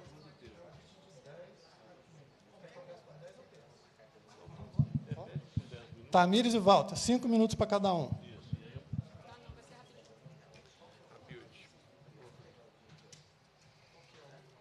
Qual é o nome do arquivo? Tá com o meu nome. Tamires. Tamires. Enquanto isso, você pode ir falando. Bom, boa tarde a todos, as autoridades aqui presentes, aos demais. Meu nome é Tamires Aparecida de Almeida, sou engenheira ambiental. Juntamente com meu colega de trabalho, Walter, o doutor Alex nos pediu para fazer uma, uma perícia técnica para então, até então, para o eletrodo onde seria construído em São Vicente de Minas. Então, só para contextualizar muito rapidinho, que o EIA-RIM ele foi finalizado em junho de, de 2016 e aí ele apresentava como melhor alternativa locacional a macrozona 4, que compreendia Carranca, São Vicente, Drelândia e Santa Rita de Jacutinga, pelo, por questões geológicas, geofísicas e por questões também de proximidade com centros urbanos, unidades de cons- conservação. Pode passar. Próximo. Tá bom, parou. Ah, assim. E uma empresa foi contratada para. Não, volta. Passou sozinho. Tá travando.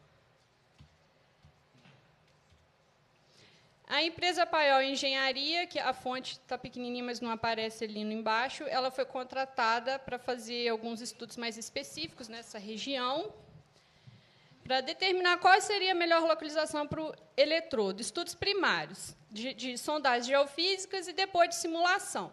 Então, você tem, a gente tem inicialmente seis pontos, que compreende as, os municípios Santa Rita de Jacutinga, Andrelândia, São Vicente de Minas e Carrancas, como as melhores opções para construir o eletrodo, analisando termos de resistividade do solo, condutividade elétrica, pedologia, geologia. Posteriormente, não, continua no mesmo. Foi feita uma simulação para quatro dessas estações, considerando que a melhor estação para a locação do eletrodo seria a estação 43, que ficava em São Vicente de Minas, como a melhor opção para construir o eletrodo, baseado em dados primários, estudos no local, não estudos secundários. Pode passar, por favor.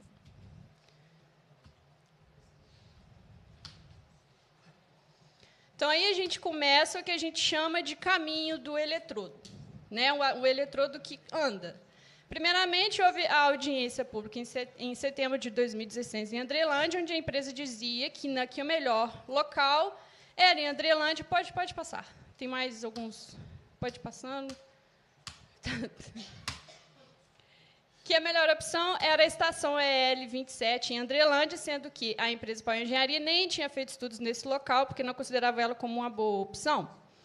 E a empresa, no EIA-RIME, dizia que a, a estação 43 não era a melhor opção por questões de desnível de terreno que gira em torno de 40 metros. Então, Andrelândia, 20, a EL 26, como melhor opção. Só que, por pressões da população, do próprio Ministério Público, em janeiro de 2017, outra audiência em Andrelândia, em que a empresa já chegou dizendo que o eletrodo seria em São Vicente de Minas, não mais em Andrelândia. Então, em junho de 2017, não uma audiência pública, mas uma reunião pública foi feita em São Vicente de Minas, onde a empresa apresentou a estação EL43E como uma variação da estação 43, sendo que elas ficam distantes em 3,4 quilômetros. Ou seja, como você pode afirmar que uma outra estação sem estudos primários seria a mais adequada, sendo que você não, não apresentou estudos né, com estudos técnicos é, consistentes que demonstram que aquela área é a melhor. Só porque ela é uma variação, como assim? Uma variação de distância? Poxa, você não pode considerar por esse ponto. É o que a gente questiona aqui. Posteriormente, de novo, por questões de, da população está em cima, né? não querendo esse eletrodo em São Vicente de Minas, então passaram para Minduri. Em janeiro de 2018, nova audiência, que nós fomos, estivemos presentes novamente em São Vicente de Minas. Minduri agora é a melhor opção. Então, você pode ver o espaço temporal em torno de seis meses para a escolha de cada local de instalação do eletrodo, sendo um espaço temporal muito pouco para você apresentar estudos consistentes que comprovem que o outro local seria o mais ideal. Pode passar, por favor. E, analisando assim mais precisamente os estudos que, que a empresa apresentou, abre aspas, aquele texto foi retirado da caracterização ambiental do eletrodo em São Vicente de Minas, sítio é, 43, em que a empresa diz, a partir de levantamentos de dados secundários, complementares, em vistoria de campo, tal, tal, tal, infere que o empreendimento é viável.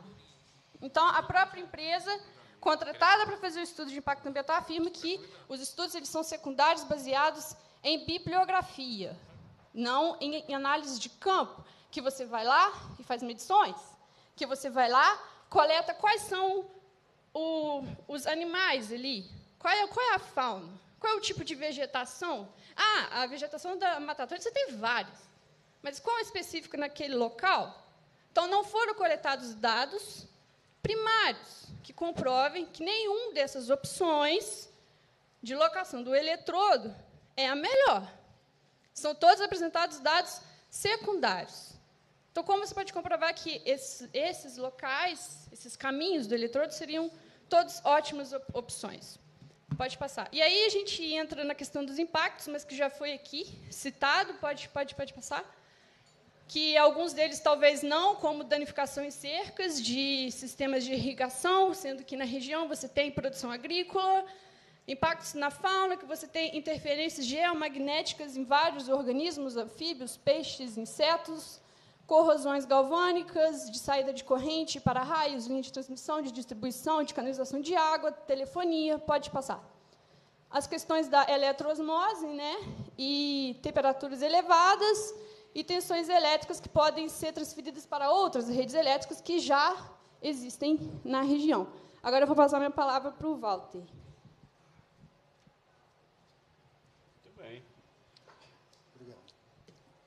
Boa tarde, meu nome é Walter Caramelo, sou engenheiro agrônomo, sou engenheiro de segurança, faço parte da equipe de peritos do Ministério Público lá de Juiz de Fora, sob comando do Dr. Alex. E eu fiz uma apresentação, mas como o tempo está urgente, eu vou resumir um pouco para que a gente e como ela vai estar disponível aí para vocês, depois vocês podem abordar.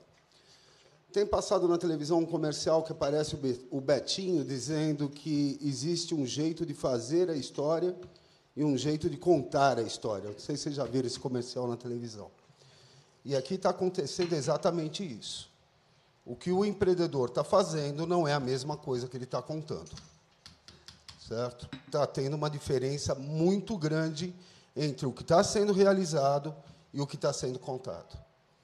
Escolher quando ele diz, ah, é um eletrodo é para direcionar elétrons para o solo, é bom que a gente entenda que o eletrodo, na realidade, é um fio terra que vai descarregar milhões de volts num solo. Certo? Você tem um aterramento da sua casa de 220, você enterra lá uma barra de, de cobre de 2 metros, tal, e você vai ter nesse eletrodo a mesma função, o descarregamento de milhões de volts no solo. Tá certo? Não um 220. Quando o empreendedor fala, ah, não, a dimensão do meu eletrodo é de 1.500 metros de diâmetro, ele não traduz para vocês que isso ocupa uma área de 172 hectares. Tá certo? Ele não coloca dessa forma, mas ocupa uma área de 172 hectares. Quando o empreendedor fala que, ah, não, a área de a área de intervenção na vegetação é, ocupa 0,5 alguma coisa hectares, eu peguei e fiz a conta ali, em função à área do círculo, é, vai, o empreendedor vai trabalhar uma faixa de um metro de largura só ao redor todo desses 172 hectares? Impossível. Tá certo? Então, os dados apresentados não batem com a realidade. Quando nós pegamos e fomos fazer a perícia técnica no, no São Vicente de Minas, nós já levantamos isso e levantamos que os estudos necessários para definir a localização de um eletrodo não foram feitos e continuam sendo feitos. Não é simplesmente a escolha do local pelo local mais adequado, ir lá e medir uma certa resistividade de solo e falar, não é aqui. Exige-se uma. Um, tem um cronograma, por favor, deputado, só para só mostrar para o pessoal, pode, pode seguir.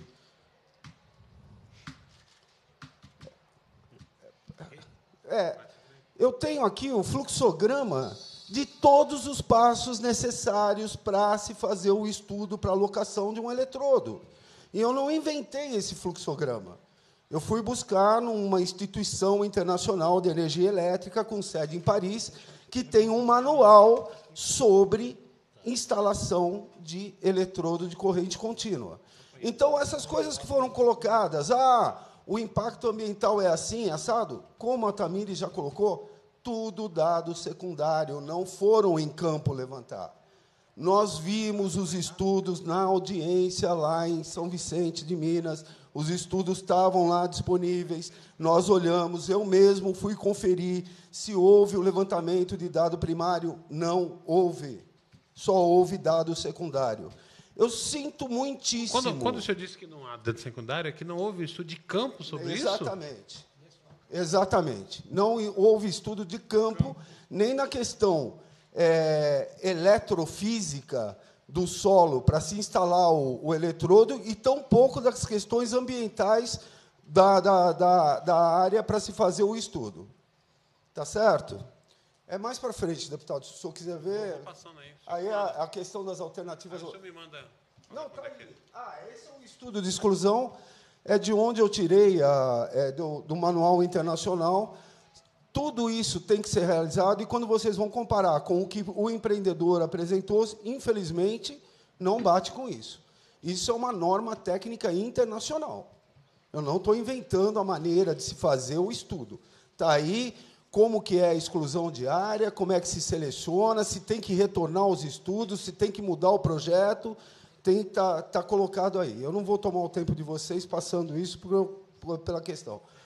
Então, a, a, a questão é a seguinte: sinto muitíssimo, eu sinto muitíssimo que tenha chegado um tempo que a instalação do eletrodo seja uma urgência, que tenha que atender a, a, a demanda de energia elétrica do norte para o sudeste. Eu sinto muitíssimo. Vocês tiveram um tempo hábil para fazer um estudo decente, para buscar uma localização decente, para cumprir as normas técnicas internacionais, para se definir onde é o eletrodo, e não utilizaram esse tempo. Não adianta vir aqui mostrar para nós que existem 30 eletrodos instalados no Brasil e que eles funcionam perfeitamente. Se funcionam perfeitamente, é porque provavelmente foi feito um bom estudo para ser instalado. Agora, o que está aqui não tem garantia nenhuma de que vai funcionar perfeitamente porque os estudos não foram realizados. Então, é esse o ponto, é isso que nós colocamos no nosso, no nosso laudo que foi entregue para o Ministério Público, e depois acho que foi direcionado para a senhora. Está lá. Essa mudança de local de, de eletrodo, esse eletrodo móvel não é assim, nós estamos lidando com um equipamento altamente perigoso, que pode causar dano ambiental, dano social, dano a pessoas, e que pode sim funcionar muitíssimo bem contanto que o estudo seja bem feito. E nós não temos isso, e o, empreendedor não apresentou isso para nós na última audiência, e agora que mudou de, de lugar de novo, e eu fiquei sabendo só hoje que mudou de horizontal para vertical, as notícias. É, quer dizer, vai mudando tudo sem nenhum estudo, sem nada. Então, é um risco, na minha visão, é um risco a instalação de um eletrodo com esse nível de estudo que está sendo feito. Tá certo? É um risco grande que nós estamos correndo. Se os estudos forem bem feitos, realmente comprovarem o local, tudo bem.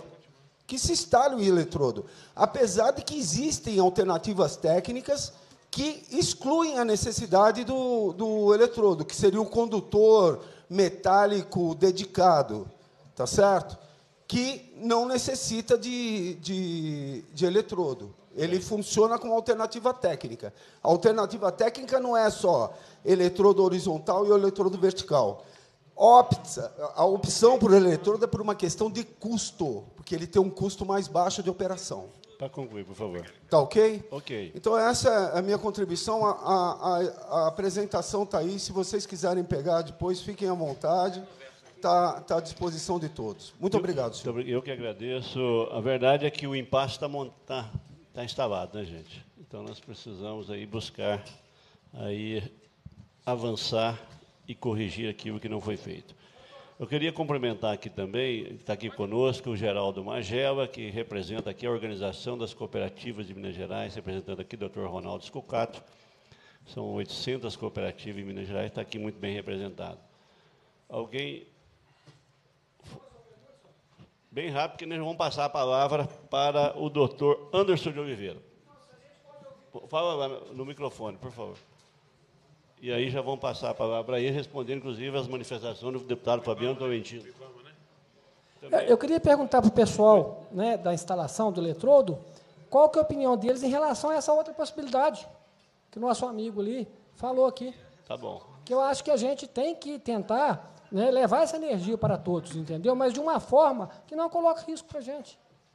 Mesmo que aumente-se o custo, eu acho que quem tem que pagar isso é o consumidor. São 30 anos de conce- concessão para milhões de consumidores. Isso aí não vai onerar a vida de ninguém, não, cara. Muito obrigado, Renato. Agora, então, vamos passar a palavra para o doutor Anderson de Oliveira, para que ele possa responder as perguntas e depois a gente volta também para a empresa, que foi bastante questionada também, e para o IBAMA também, que ainda não falou. Fernando França, por favor.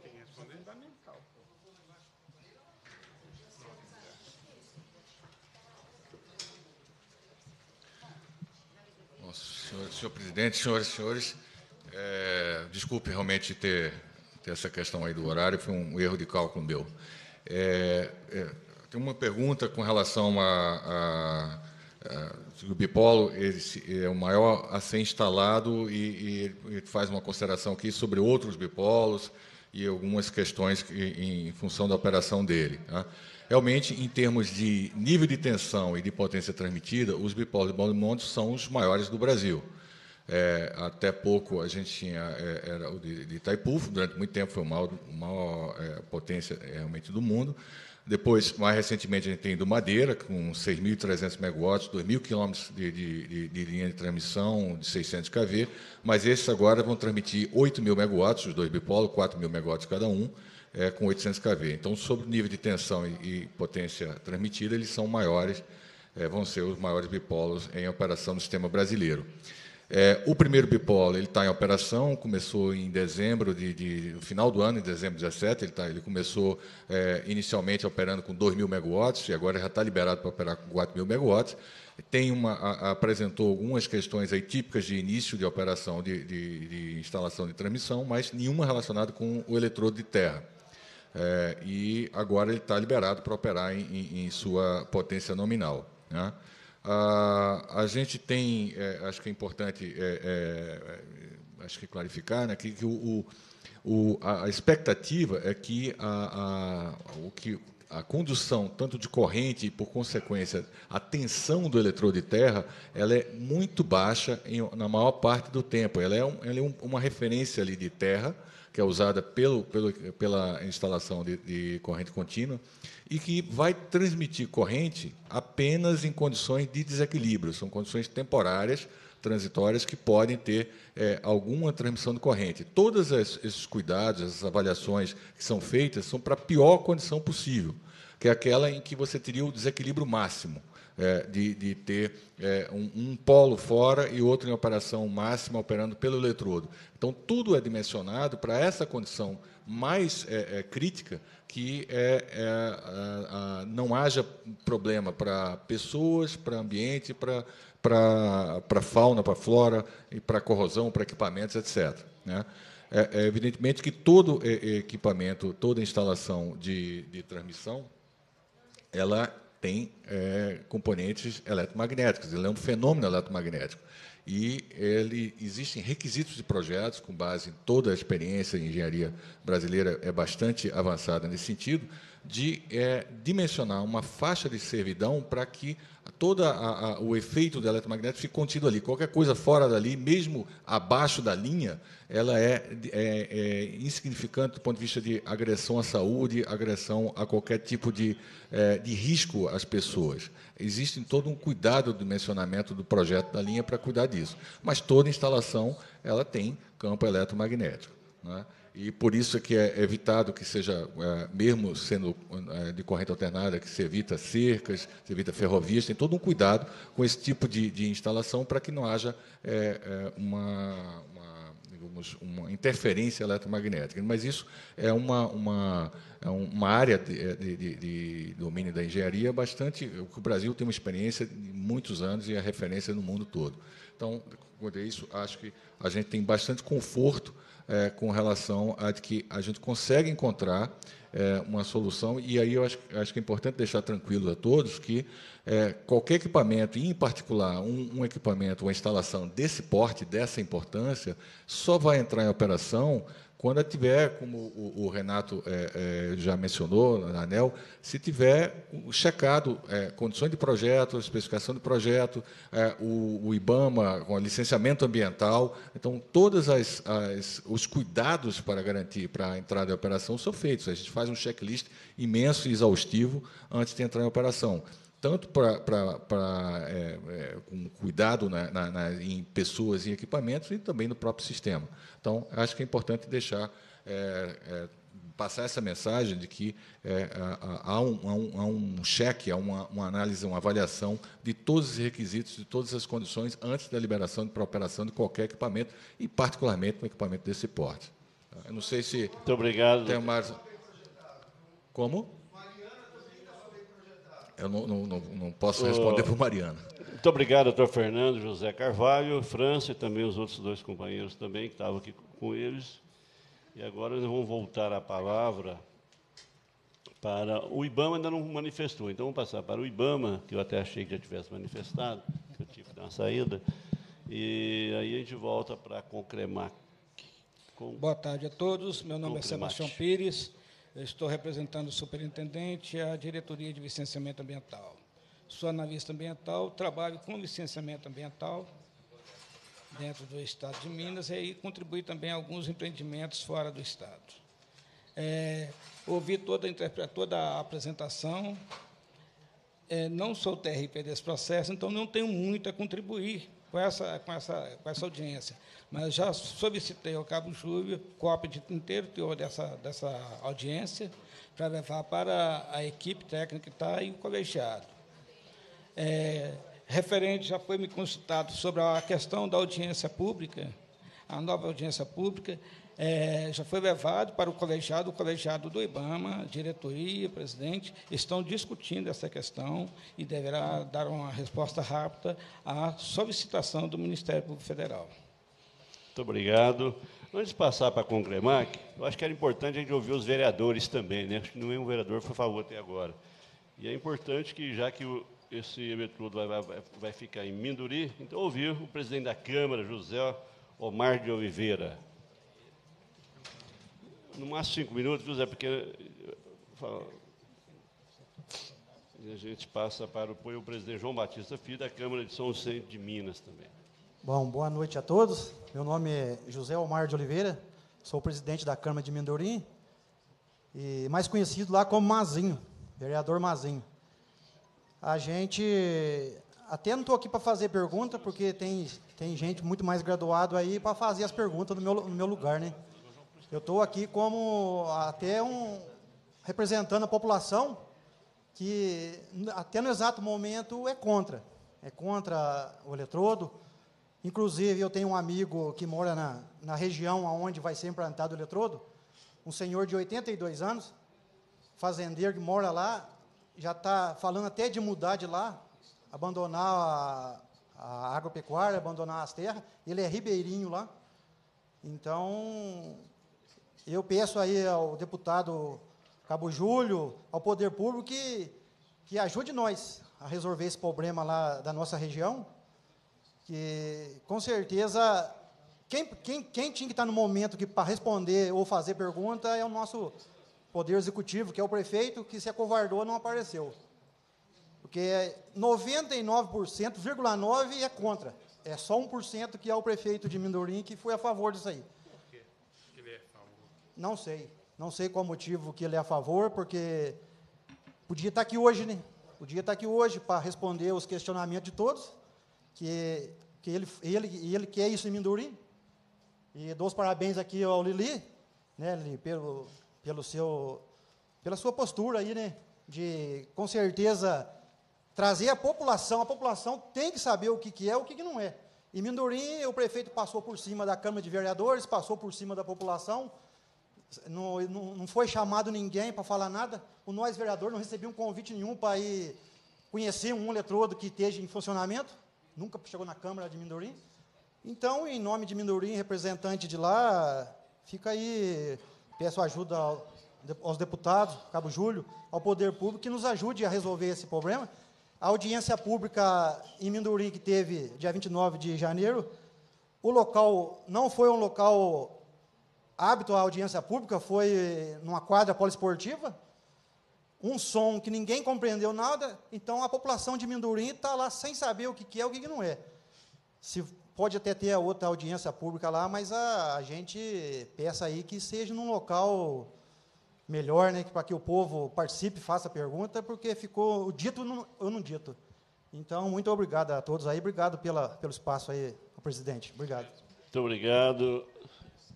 Muito obrigado, senhor vereador, presidente da Câmara, José Omar de Oliveira, que deu aí sua importante contribuição em nome dos vereadores de Minduri. Então, o João Batista Filho, que é presidente da Câmara também, lá de São Vicente de Minas, por favor, da mesma forma, os, no máximo cinco minutos. Boa noite a todos. Meu nome é João Batista Filho, presidente da Câmara Municipal de São Vicente de Minas. É o seguinte, o que a população de São Vicente deseja mesmo é um esclarecimento, que nós não fomos informados de nada. Está sendo nos empurrado goela abaixo um projeto que só se ouviu falar depois que nos, foi, nos foram dito que houve uma reunião, uma, uma reunião pública em Andrelândia, e que nós não estávamos sabendo. E gostaríamos que nos ajudasse ajudasse a todos, a população, com o esclarecimento, com o estudo, que a gente não pode aceitar uma coisa que não sabe se é benéfico, se é maléfico, que não, não, que não se tem um estudo, que ninguém comprova nada. Isso é o que nós queremos. Nós queremos entender, ou para participar. Que uma coisa, para ser benéfica para uma população, tem que ter a participação de todos. Porque se só um participar, esse é um monopólio, não é uma participação popular. Agradeço a todos. Muito obrigado. Foi rápido, João Batista Filho, presidente da Câmara de São Vicente de Minas. E vindo a Minduri pela internet, o que acontece é, e que houve resistência por da cidade de André de São Vicente. E o que aconteceu, então, com Minduri? Infelizmente, qual o benefício que o cidadão, dessa, é, diante desse de nenhum estudo apresentado e comprovado, inclusive com ausência de riscos? Essa aí é uma pergunta para, também para Xingu Rio. E também existe estudo realizado pela UFBA, comprovando a existência de animais em extinção na nossa região? O IBAMA já realizou algum estudo na nossa região? A área está próxima à Chapada, matas fechadas e nascentes. Então, a pessoa preocupada aí também, isso é para o IBAMA. E foram vistos funcionários da empresa aqui na cidade, bem como trabalhando no local. Qual o trabalho que eles estavam realizando? Será feito um estudo da área de, para verificação da fauna e flora? Qual a distância do município de Minduri? Em linha reta são 7 quilômetros. O mínimo não seria 20, conforme informado pela, pela RIMA? Então, são essas perguntas, essa, essa última, essas perguntas foram feitas pelo Diniz. É, e também gostaria de saber sobre a implantação do eletrodo em Minduri, que já estava definitiva, e, se ainda temos chance para que não seja executada? Essas são as perguntas. Deputado, o, se eu permite. Doutor Alex, por O favor. presidente da Câmara Municipal de Andrelândia, o, Por favor. o vereador Geraldo, ele pediu para se manifestar. Geraldo, por favor.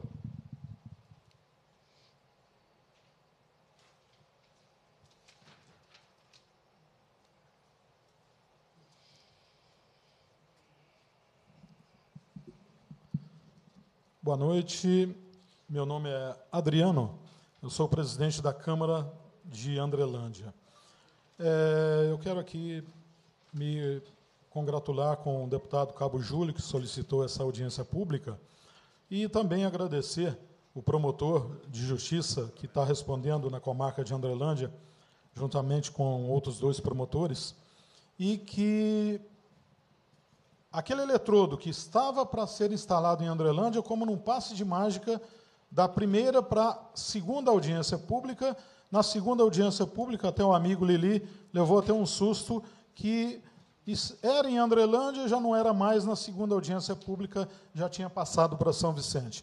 Alguns produtores rurais de Andrelândia estão questionando o seguinte: é, eu ouvi alguém da, da empresa falar que estão respeitando a natureza e tudo, não é bem assim, não.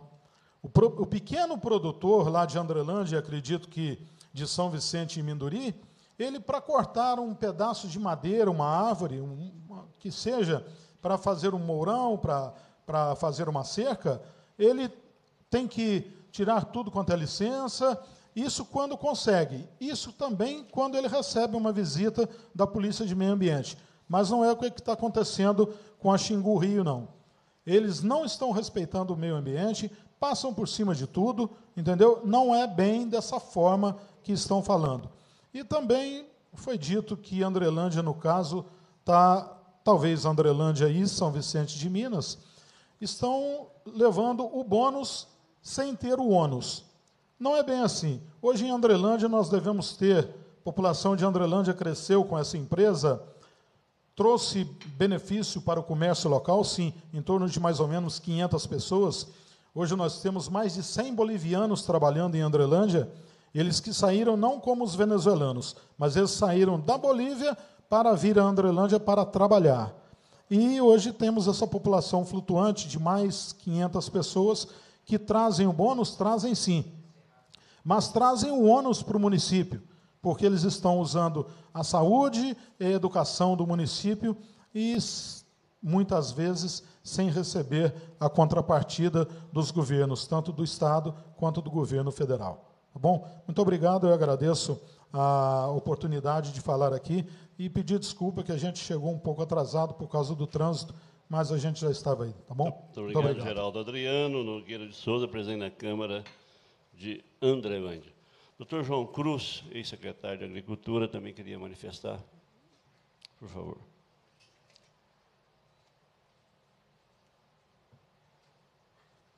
É, acho que já quase boa noite, né, senhoras e senhores. Cumprimentar o nosso presidente, deputado Antônio Carlos Arantes, o deputado Fabiano Tolentino, e em nome dos quais eu cumprimento toda a mesa, para ser ligeiro, e queria saudar de maneira especial o deputado Cabo Júlio, autor do requerimento, e sua assessoria, viu, deputado? Muito obrigado por atender a nossa sugestão de convidar a ANS, a ONS e também a própria CEMIC, que poderá ser uma beneficiária do, da energia. Eu acho que é comum a todos aqui, ninguém quer travar o desenvolvimento do Brasil, todo mundo sabe da importância da linha de transmissão, Xingu Rio, isso aí é fato, já foi sobejamento superado, mas alguns fatos que eu acho que nós deveríamos centrar a discussão doravante, principalmente nos encaminhamentos. A minha, minha sugestão é nesse sentido. Essa linha de transmissão, já foi dita, ela é uma das maiores do Brasil, são 800 kVs. O representante da empresa é, mostrou vários eletrodos, e, é, principalmente na Europa, todos são eletrodos de 450, 500 kV, eu prestei bastante atenção na, na apresentação. Os de 800 kV que ele apresentou são da China, que é um país conhecido por não ser um grande respeitador de legislações ambientais. Então, é, eu acho que isso requer um cuidado adicional. É, e cuidado adicional por quê? É, eu mostrei uma reportagem que eu recebi, e até o motivo do convite da ONS. Eu não sou especialista do assunto, sou agrônomo.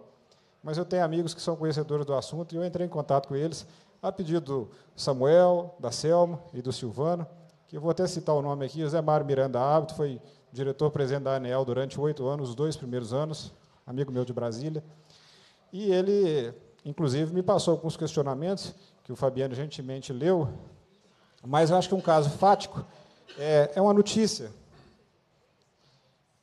que, bom, aqui, ó, vou ler para vocês que é curtinho só a, a entrada.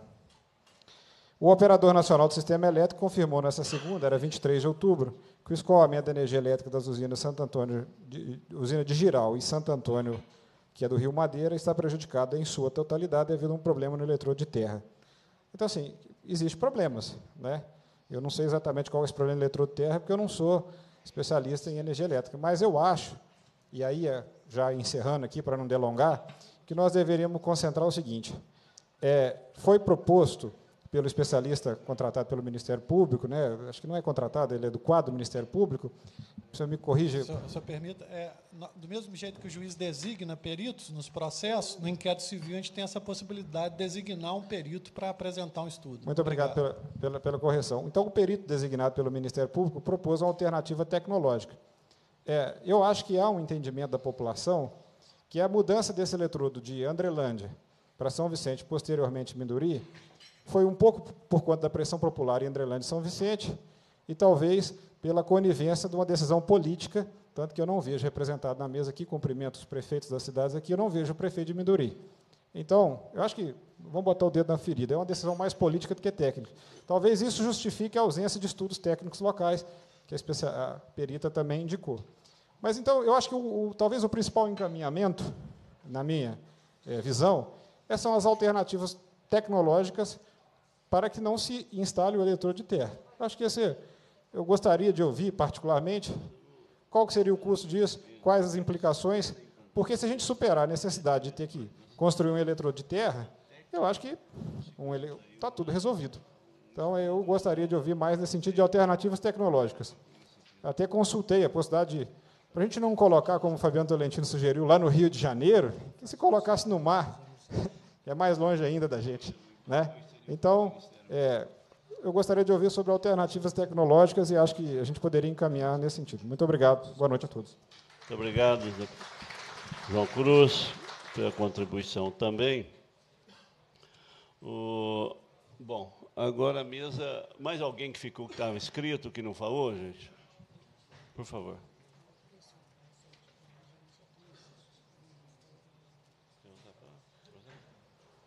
O, só um minutinho.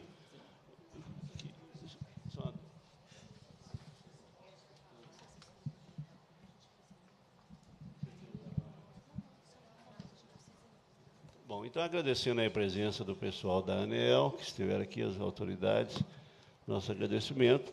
Vocês viram aqui que o impasse está criado e esperamos que tenha, tenha boa vontade, sabedoria para que resolvamos esse impasse e que o cidadão seja o principal beneficiado e não pagar a conta, principalmente com esse problema que está se discutindo aqui. Presidente, é, só para fim de dar... Deputado, pela ordem, eu, deputado... Eu pedir a Vossa Excelência o seguinte, é, eu vou solicitar... Mas o pessoal da ANEL está dispensado. Eu vou solicitar aqui alguns encaminhamentos.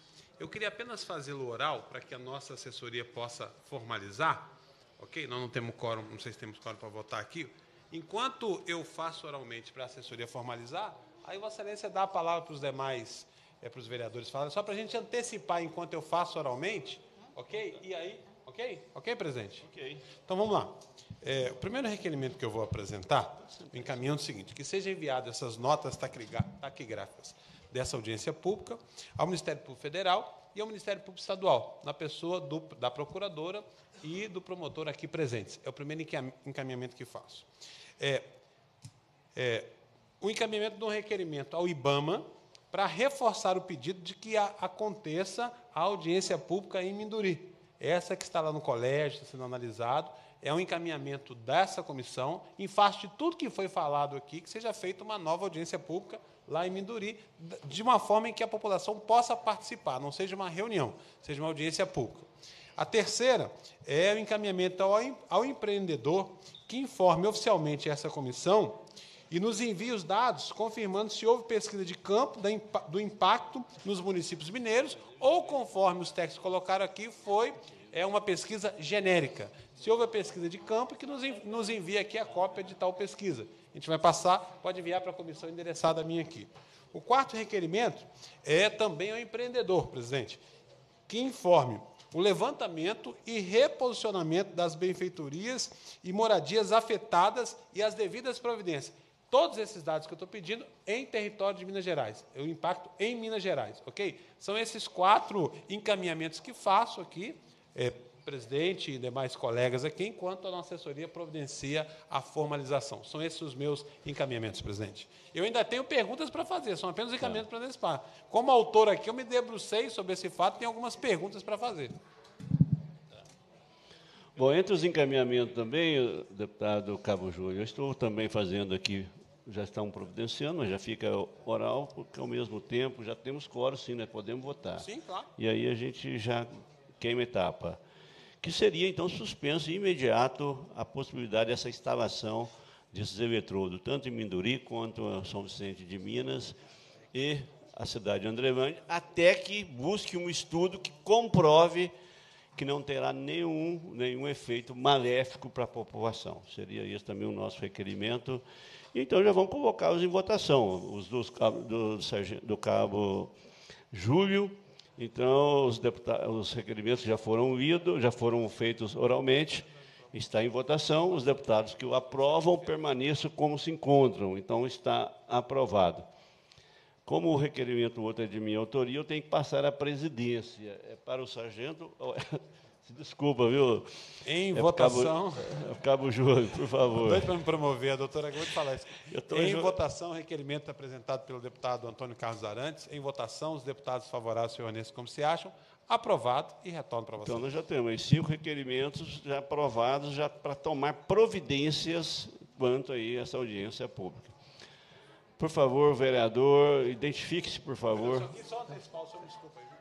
Não, tudo bem, eu acho que foi de, de bom grado e é isso mesmo que a gente queria, um posicionamento dessa casa com relação a essas dúvidas e tudo que a gente está sofrendo. Porque o que acontece é o que todo mundo já falou. E eu fico muito preocupado, e é preocupante, e a procuradora de São João do Rei, que está aqui presente, estava do lado dela na, na audiência em Minduri, e nos preocupa, porque a gente sabe que a reunião pública em São Vicente foi feita em outubro de, em junho de 2017. Mas como o próprio empreendedor disse, em outubro de 2017 ele já tinha protocolado um pedido para ser em Minduri a instalação do eletrodo, antes sequer da audiência pública em Minduri, que foi em 28 de janeiro. Então, isso tudo causa uma, um descrédito muito grande para as instituições. Porque como que a gente vai acreditar num processo sério, sendo que, antes sequer de fazer audiência pública, e a, a procuradora ainda conversava comigo lá, e já estava sendo feita audiência pública depois de já ter protocolado um pedido para sair Minduri, sem saber se a população queria ou não queria. Então, isso é muito preocupante. Isso deixa a gente preocupado, porque esses fatos que são fornecidos pelas próprias pessoas envolvidas, pelo empreendedor, pelo rapaz que representava o IBAMA, né, e os dados que o doutor Alex do Ministério Público traz para nós, são muito contraditórios. Isso gera uma insegurança para a população que vocês não sabem o tamanho que é essa insegurança. Porque se a própria fonte oficial gera informação contraditória, como que nós, simples população, sem determos dados técnicos de todo esse assunto, que é muito complexo, podemos ficar tranquilos nas nossas casas, sabendo que não vamos ser prejudicados ou não? Nesse sentido que eu peço realmente que essa casa, através desses encaminhamentos muito sábios, que realmente cuide de nós, cuide da nossa população. Porque é impossível a gente ter é, confiança em dados tão contraditórios, em, em, avalanches de informações que chegam antes de, antes de saber se ia ser permitido ou não, já estava pedindo a licença prévia. Como que isso é possível? Pedir uma licença prévia em outubro e a audiência ser realizada em janeiro. A procuradora se assustou na hora lá, como, como é que o prefeito dá uma autorização? Sabe, é muito complicado, né? Peço desculpa por vocês desse, nesse meu desabafo, mas é porque aqui, esse já. é um anseio da população aqui, mesmo, e eles confiam na gente enquanto aqui, representante público. Tá? Muito obrigado. Muito obrigado, senhor vereador. Bom, a última, a última agora da plateia, já vamos passar já para a mesa para as respostas. O Renato, por favor, mais uma pergunta que se diz? Deputado, não convém fazer um encaminhamento para o empreendedor fazer um estudo de uma outra possibilidade, de um outro sistema? Eu acho que é o mais importante de tudo, na minha opinião.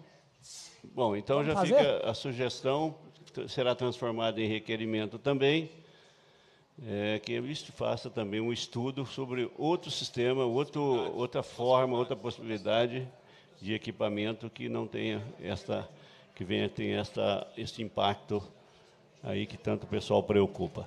Será, então já pode se transformar. Então fica já feito já um requerimento. Aqui os deputados, então, Cabo Júlio e Fabiano Tolentino, eu coloco em votação. Os deputados que o aprovam permaneçam como se encontram. Então está aprovado, Renato? Então já está aprovado aqui mais um requerimento que será também é, motivo aí de ação nossa aqui nesta casa. O, o autor do requerimento, Cabo Júlio, cumprimentável pela iniciativa, foi na hora certa, proposta é interessante, e tenho certeza que, através dessa iniciativa, nós podemos dar uma contribuição importante para esse para essa discussão que tem aí afligido as pessoas desta região. Bom, então, como autor do requerimento, faça as perguntas, que aí a gente vai no atacado, vamos É, passar vou- a palavra para a empresa, né, que ela possa responder no atacado Se, de se todas não as houver perguntas possibilidade de que responder estão aí. Então, aí já fica sendo as considerações finais. Ok.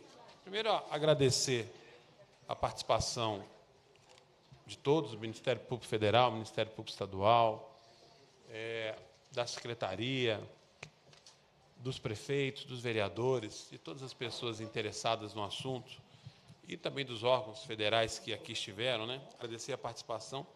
Eh, esse assunto é importante, principalmente para aquelas pessoas que serão afetadas diretamente. Talvez algumas pessoas eh, de outras áreas que seriam beneficiadas pela energia, talvez desconsiderem a preocupação da pessoa que será afetada lá nessas cidades. Né? Mas eu queria deixar, e o empreendedor pode até me responder depois, em razão da hora. Bem, ficaram algumas perguntas aqui, algumas delas são, são, foram feitas em razão de requerimento. A primeira que eu apenas insisto para reforçar é sobre essa coleta de dados, se foi feita de forma genérica ou se foi coleta de dados de campo. Já foi objeto de um requerimento, inclusive. E algumas perguntas. Eu disse aqui que são 5 mil torres na linha de transmissão, ok? É, algumas perguntas precisam ser respondidas que eu ainda não considero que foram respondidas. Né? Haverá diminuição da umidade do solo? Se sim ou não, qual o impacto disso? Risco de corrosão nas afiações, cercas, linhas telefônicas. Nós temos esse risco de, corres- de, de corrosão? Há algum risco de interferência em sinais de telefonia? Pergunta que eu acho que tem efeito prático na vida das pessoas. Né?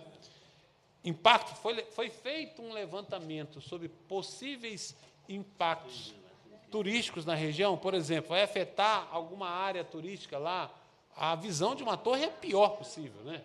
Então, isso terá impacto. Se tem impacto, qual tipo de compensação? Né? Ah, quanto à nova audiência em Minduri, é para o IBAMA, já foi feito, inclusive, aqui formalmente. Né? Já fiz também a pergunta sobre o reposicionamento das construções e moradias, que, para nos informar a listagem aqui, no âmbito do Estado de Minas Gerais, tá certo? Não tem essa informação para a Assembleia, nos importa em âmbito da nossa competência aqui, né? Enfim, é, a princípio são essas perguntas, presidente. Algumas delas eu já me senti respondido, outras vou aguardar formalmente a resposta. Quero agradecer a todos, como autor, por essa participação. Nós, nós estamos aqui já há mais de, de três horas, nós começamos aqui 15 horas, 18, mais de três horas e meia de audiência pública aqui. Há uma importância desse debate. Né? Lamento muito a ausência do prefeito, de não até, já que ele concordou, que nos informasse. Aqui, aqui não é o campo de briga política, aqui é o campo do debate de ideias. Já que aparentemente toda a Câmara está aqui discordando, né? É, por que o prefeito concordou? De repente ele foi convencido por quê? Por algum argumento técnico que a gente não sabe, ou algum argumento econômico do impacto disso durante a obra, da, da possível geração de emprego ou não. Eu acho que era importante a participação do prefeito para nos trazer essa informação e vir para o debate, até porque se ele não fizer aqui, certamente o fará, terá ser obrigado a fazer, pelo que eu entendi, na Câmara Municipal. será cobrado disso, mas aqui era um campo, é talvez onde a, a pressão fosse menor política para ele nos responder. Então, lamento isso. Né? Então, é o meu agradecimento a todos. É, pode me responder depois, em razão até do horário, até porque outros colegas farão considerações, pode me responder por escrito. Se eu entender que não, a gente provoca outra audiência pública para poder discutir esse assunto. Presidente, muito obrigado, obrigado aos deputados Fabiano Tolentino também, obrigado a todos que participaram. E a minha intenção como autor de fazer foi realmente provocar essa discussão. Provocar que fosse esclarecido ou não, parte foi esclarecido, parte ainda há dúvida, possa esclarecer os impactos positivos ou negativos de um empreendimento de tamanho e envergadura. Muito obrigado. Muito obrigado, Cabo Júlio. Antes dele responder, então, pela empresa Concremar, o deputado Fabiano Tolentino, que aí já aproveita, já engloba mais algumas indagações para a gente, para que nós possamos encerrar esta audiência. Deputado Antônio Casarante, nós começamos essa audiência pública, era três horas aproximadamente, são seis e meia. De três horas até as seis e meia, pouca resposta foi concreta aqui para a gente. Né? O início da minha fala, até um pouco contundente, que nós tínhamos acabado de sair de uma reunião lá no gabinete, eu fiquei indignado com algumas situações, como que as coisas acontecem assim, passando por cima de tudo, de todos, da lei. Né? Eu estava aqui conversando, inclusive, com o Estado, que não tem como estar junto desse processo, porque passa de Estado para Estado, então é o IBAMA que faz o licenciamento. Mas eu tenho certeza que se fosse no Estado de Minas Gerais seria diferente. Às vezes até passa. O Estado de Minas Gerais até burocrata demais. Não deixa fazer nada. Tem hora que a gente precisa de fazer algo e o Estado está ali travando. E a gente vê o IBAMA fazendo uma, uma, de uma facilidade, uma situação nesse risco, nesse problema todo que nós estamos discutindo aqui há três horas e meia nessa casa, com os deputados pertinentes no assunto, com o Ministério Público, com os órgãos ambientais, com o IBAMA, com os vereadores, com prefeitos, com lideranças da cidade. Então você vê o, o risco efetivo, inclusive de vidas, de, de sociedade, de ações, de meio ambiente, que está em jogo, né? e parece que lá na ponta é tão fácil. Né? Uma canetada, um licenciamento que não era nem do local, está pronto e já está na, na, próximo licenciamento. Né? Como que a coisa avança rápido no governo federal? Né? Não poderia ser dessa forma, não. Né? Parece que tem coisa que vem de cima para baixo e vai, vai tocando. E se não é nós, sociedade bem organizada para estar tá aqui, vai aprovando, vai fazendo e vai tocando, e o Brasil vai ficando por aí mesmo. Né? Mas, graças a Deus, nós estamos vivendo um novo Brasil. Né? Um Brasil onde está se prendendo aqueles que erram, onde está vendo o que é certo o que é errado, onde uma empresa do porte da Belo Monte vem para cá discutir, e a gente tem que parabenizar a empresa que veio, né? e, e, e ao contrário, é questionar o prefeito que aqui não está, da cidade de Mindorim, que, em tese, é uma das interessadas também. Não vou dizer que é a maior interessada, porque isso é de nós todos, é do mineiro, gente. Essa ação é de Minas Gerais. Né? Então, todos nós somos interessados, mas caberia o prefeito estar aqui também, como está aqui o prefeito das outras cidades também, que estão ali no, nos limites da, da situação.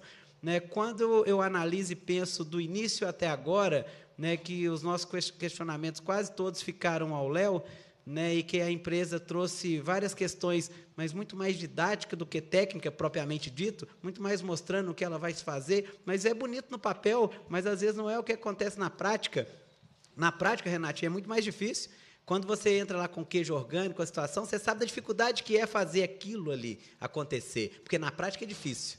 Né? Então, é a mesma coisa a empresa. Né? Ela vai trazendo aqui coisas mirabolantes, é o canto da sereia sendo vendido. Né? Parece que tudo vai dar certinho, mas na hora que a gente vai ver mesmo, nem tudo está certo, não. Nem tudo está correto. E quem vai sair no prejuízo é a população, é o meio ambiente. E quem vai sair no ganho é o poder capital, é o poder que tem mais investimento, é aquele que realmente tem condição de trazer as coisas de maneira diferente do que seria o normal, que é o que a gente imagina aqui. Então, nós estamos aqui é para fazer um Brasil diferente. Essa casa tem esse dever e aí a gente tem o Ministério Público, a Procuradora do Estado está aqui, né, o doutor Alex está aqui, que são, que é, né, os dois são os, os órgãos responsáveis, tanto o Ministério Público quanto a Procuradoria, para fazer esse juízo de valor também.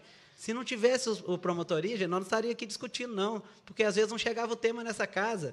Chegou porque lá na ponta alguém deu grito, opa, peraí, isso não está certo da forma que está sendo feito, não. Então a gente tem que parabenizar, viu, doutor Aleph? Porque não é fácil, não, tem que ter coragem. Para a gente colocar o dedo da ferida, não é fácil, não, porque a gente sabe que tem interesses muito diversos dos nossos que nós estamos conversando aqui. E aí, sem tudo. Né? Então, para a gente estar tá aqui, é coragem mesmo. Os vereadores saírem lá de São Vicente de Minas, vereador, e vir cá debater e falar e discutir. E é assim que se faz um Brasil melhor.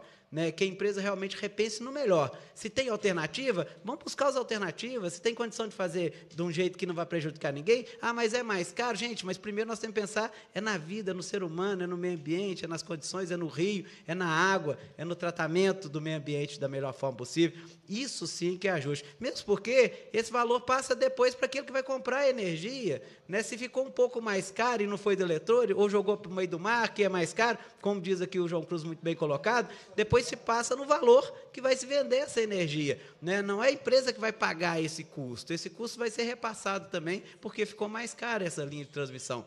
Mas a gente defende o ser humano, a essência e o meio ambiente, que é, acho que é o primeiro ponto nosso, e é para isso que nós aqui estamos. Né? Parabéns a todos nós, parabéns a todos vocês que aqui vieram, e só assim nós podemos produzir um Brasil melhor. Um país esse que depende de Minas Gerais, porque nós somos o Estado produtivo, nós seguramos a balança desse Estado, nós seguramos o PIB através da agricultura, através da pecuária, e por isso nós temos que ter um ambiente bem produtivo. Quando eu vejo a Copasa jogando esgoto no rio, isso me dá, traz uma indignação, gente, porque está sujando aquilo que é nosso. Né? Uma empresa também que tem capital, que detém poder e que quer passar por cima de tudo. Mas aqui não. Minas agora é diferente. A justiça já está do nosso lado, já começa a dar ações para o nosso lado, e aí nós vamos mudando o Brasil. Por isso que nós temos que estar juntos, sim. Né? Tem que acontecer as coisas no Brasil, mas que aconteça da forma em que o capital possa andar bem com o social, mas que o social possa ser sempre em primeiro lugar, pensado por nós que somos agente público. Parabéns, deputado Antônio Casarante, parabéns, Cábio Júlio, e assim nós vamos fazer no Brasil melhor. Se tem alternativa, vamos buscar alternativas. Se tiver audiência em Minduri, como tem que ter, se Deus quiser, nós vamos estar lá também para debater e ajustar a melhor forma possível para a sociedade, para o meio ambiente, para a população e para Minas Gerais e automaticamente para o Brasil. Muito obrigado a todos. Muito obrigado, deputado Fabiano Tolentino. Bom, então agora já podemos passar para o Anderson de Oliveira, para que ele da Concremate Ambiental Xingu Rio, transmissora de energia. Presidente, é, deixa o Anselmo da Xingu Rio falar em nome da Concremate. Eu vou tentar sumarizar as perguntas, eu não sei como é, que é a condução, o senhor me orienta. Fique à vontade, aqui agora... Bom, pode... o, nós, dentro de um apanhado das perguntas, eu acho que algumas são similares, elas foram repetidas várias vezes. A primeira delas é sobre existência ou não de dado primário, inclusive isso culminou na, na geração de um requerimento. Nós iremos responder no requerimento e mandar as evidências, e só informando já, houve, houveram diversas campanhas de monitoramento de fauna e flora ao longo do empreendimento, seguindo um termo de referência, ou seja, o IBAMA emite um termo de referência de como se quantifica e qualifica as espécies em cada bioma e microbacia. E no site, no lugar em específico que nós estamos falando, foi feita uma campanha específica de avistamento e cadastramento das, das espécies. Lembrando que a área que nós estamos é uma área já suprimida, é uma lavoura. Então, assim, o universo é, biótico que nós encontramos nessa área é bastante menor do que os dados que nós consideramos nos estudos que foi analisado num transecto íntegro. Mas isso eu gostaria de responder no requerimento, isso é bastante denso, e eu acho que é minha obrigação trazer isso à luz de todos. Eu agradeço essa pergunta. Sobre os critérios técnicos de segurança, é, ficou um contraditório. Né? Assim, eu apresentei os dados de tensão de toque, tensão de passo, falei um pouco sobre o ressecamento, e houve uma, várias opiniões diversas. Eu de fato, não sei como encaminhar, porque eu já dei as explicações, referendei nas, nas normas que nós embasamos. É, o que eu posso dizer, além disso, é separar o escopo do projeto em alguns pedaços. Existe um pedaço de cunho ambiental que é todo avaliado pelo IBAMA, e o IBAMA emite um termo de referência, os estudos são feitos de acordo com o termo de referência. Mas existem todas as características elétricas que são avaliados pelo ONS e pela ANEL na ocasião da entrega dos projetos. Então, todos os projetos elétricos foram entregados para o regulador e, no final, eles vão confirmar isso antes da entrada em operação comercial. O que nós falamos em estudo deverá ser comprovado antes da entrada em operação. Risco todo nosso. Se a gente adotou um cálculo errado, perdemos o nosso recurso. A gente não tem o direito de onerar o consumidor por um erro de projeto. Agora, uma troca de tecnologia, a adoção de um, eletro, de um retorno metálico, isso altera um pouco as configurações de operação da linha. E aí eu acho que esse requerimento eventualmente seria para o operador do sistema, do porquê que ele entende que o operador, que o eletrodo de terra opera melhor em modalidade N-1 do que um retorno metálico. N-1 é um tipo de restrição elétrica quando uma linha é troncal. Então, existe um critério para definição. É, por exemplo, num caso de ruptura de uma indisponibilidade parcial da torre, se o cabo tivesse na mesma torre, o eletrodo não funcionaria. Existem várias outras condições de contorno que o operador pode responder. O requerimento sendo enviado a nós, nós podemos dar uma opinião técnica sobre a adoção, diferença entre um, um retorno metálico, um eletrodo marítimo, um eletrodo de terra, mas eu não sei se nós seríamos o ator correto para responder isso, do porquê no projeto, não fomos nós que projetamos, nós seguimos um edital, foi adotada a solução. Não sei como encaminhar esse tema, eu peço que vocês me orientem aí. Bom, dos pontos principais que nós falamos sobre impacto ambiental, sobre desapropriação de é, residências, ou impactos em benfeitorias. 5 mil torres, está dando um vão lá de 500 metros entre torres, na média, são 2.500 quilômetros, 500 metros para cada torre. A alternativa locacional adotada é aquela que teve a menor afetação possível, mas houveram afetações. Houveram interceptações de lavoura, houveram interceptações de benfeitorias. Agora, o que foi realizado foi o traçado com a menor afetação possível, não só pelo meio sócio, mas pelo meio biótico, ou seja, preservação de nascente, locação de torre fora de APP. Naquelas 32 condicionantes que o IBAMA escreveu na, na, na licença prévia, se vocês observarem, na essência da condicionante, são orientações.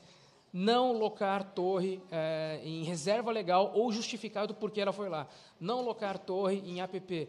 É, eh, afastar as torres a 150 metros de qualquer edificação da torre e 64 metros da faixa de servidão, entre o centro da faixa. Ou seja, todas essas condições é, compõem quais são as características que o projeto tem que ter para que ele seja elegível à próxima fase, que é a licença de instalação.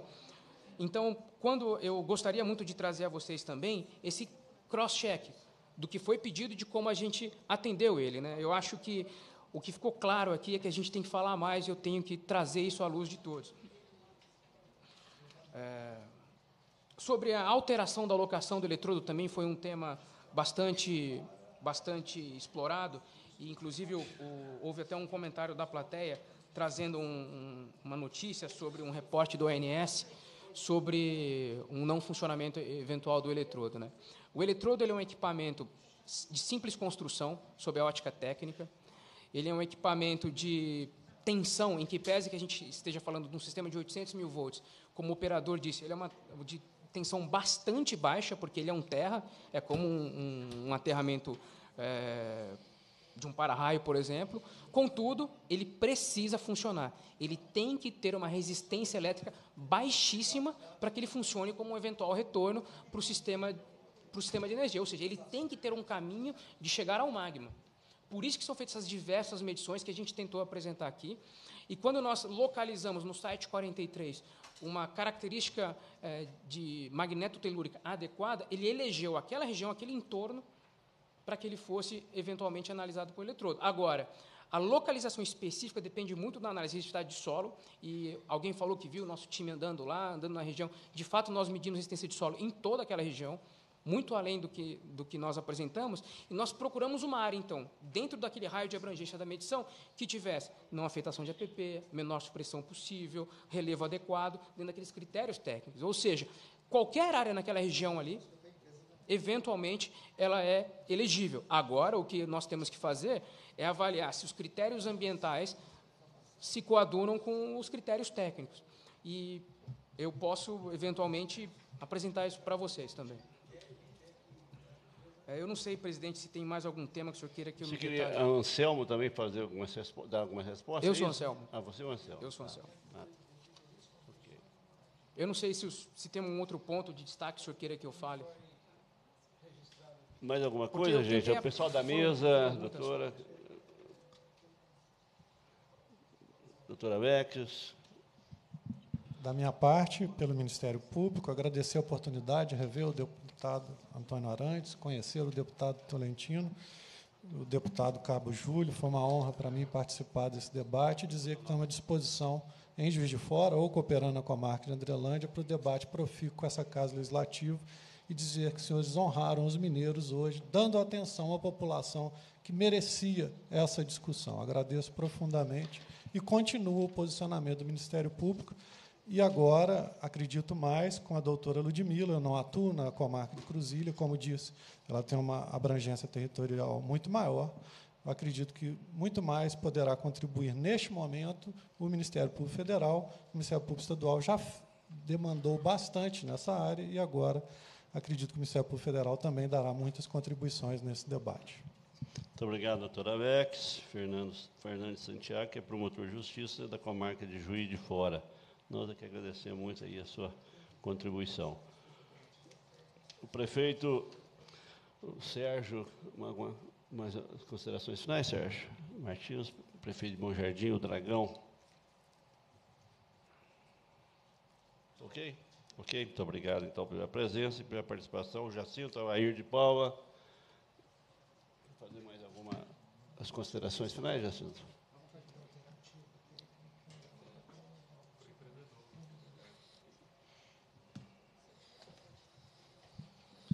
com a minha preocupação do, do, do, do empreendimento, eu não assinei nenhuma autorização, não tem nenhuma anuência, nem da, nem da linha de transmissão, nem da linha do eletrodo, nem do eletrodo. Então, deixar aqui, nesse momento, não assinei nada que dá autonomia para instalar o eletrodo ou a linha no município de São Vicente, viu, gente?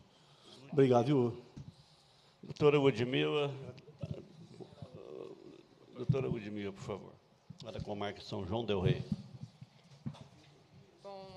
agradecer também, parabenizar, sabe, muito bem organizado, muito bem representado. Foi interessante vocês terem convidado também a ANEEL, o Ministério de Minas e Energia.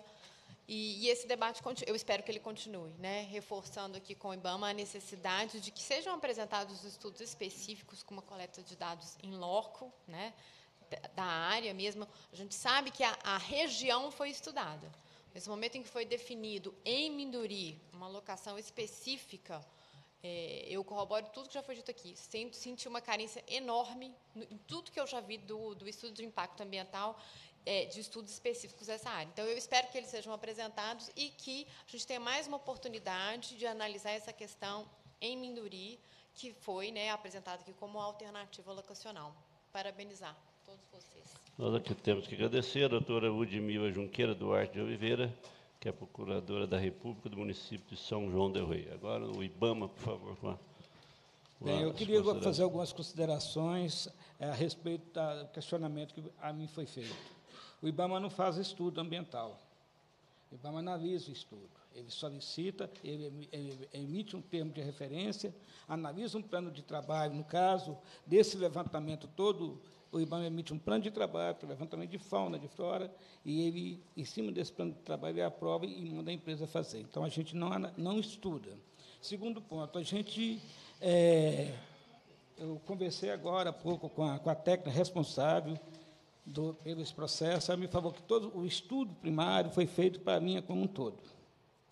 Né? Eu espero, porque a, até então, quando foi apresentado aqui, a apresentação do, do Anselmo, sobre a questão do eletrodo, acho que essa área tinha que ser estudada especificamente. Espero que vocês tenham feito esse estudo primário, não me trazer esse estudo secundário, pela complexidade que é o assunto.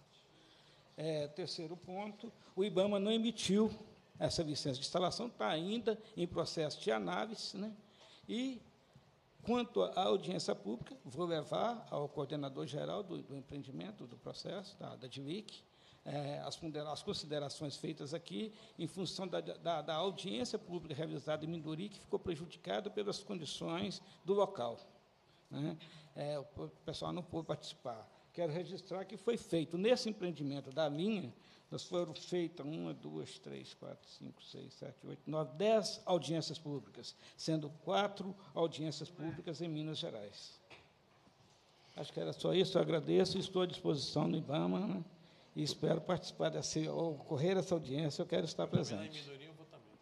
Muito obrigado, doutor Júlio César Dutra Grilo, superintendente pela, pela do IBAMA, aí pela sua contribuição. Deputado pela ordem, Fabiano só complementar o doutor Gilmar, ex-promotor de justiça, agora aposentado da saúde, sempre prestando um grande trabalho aqui por Minas Gerais e também na Assembleia. Muito obrigado pela presença, doutor Gilmar.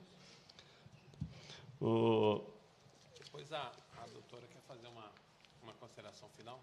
Pois não, fique à vontade rápido, eu só queria dar uma, duas sugestões para o requerimento que será enviado para o empreendedor, que ele apresente as medições do site 43 e o raio de distância que ele abrangeu essas medições, e que sejam apresentados também tanto as sondagens geofísicas quanto as simulações do eletrodo para a, para alocação. Ah, desculpa. Bom, mas vai ser gravado. Gravado. Já, já aprovamos agora. É. Ok. Primeiramente, apresentar as medições do site 43 e o raio de distância que essas medições abrangeram. E, segundo, apresentar as sondagens geofísicas e a simulação do eletrodo para nova localização em Minduri. Muito bem. Bom, então, as suas manifestações já, está, já se transformam aqui agora requer, em dois requerimentos, né? E coloco, coloco já em votação. Os deputados que o aprovam permaneçam como se encontram. Então, já está aprovado. Bom, então, para encerrar, agradecer a presença de todos, a contribuição de cada um.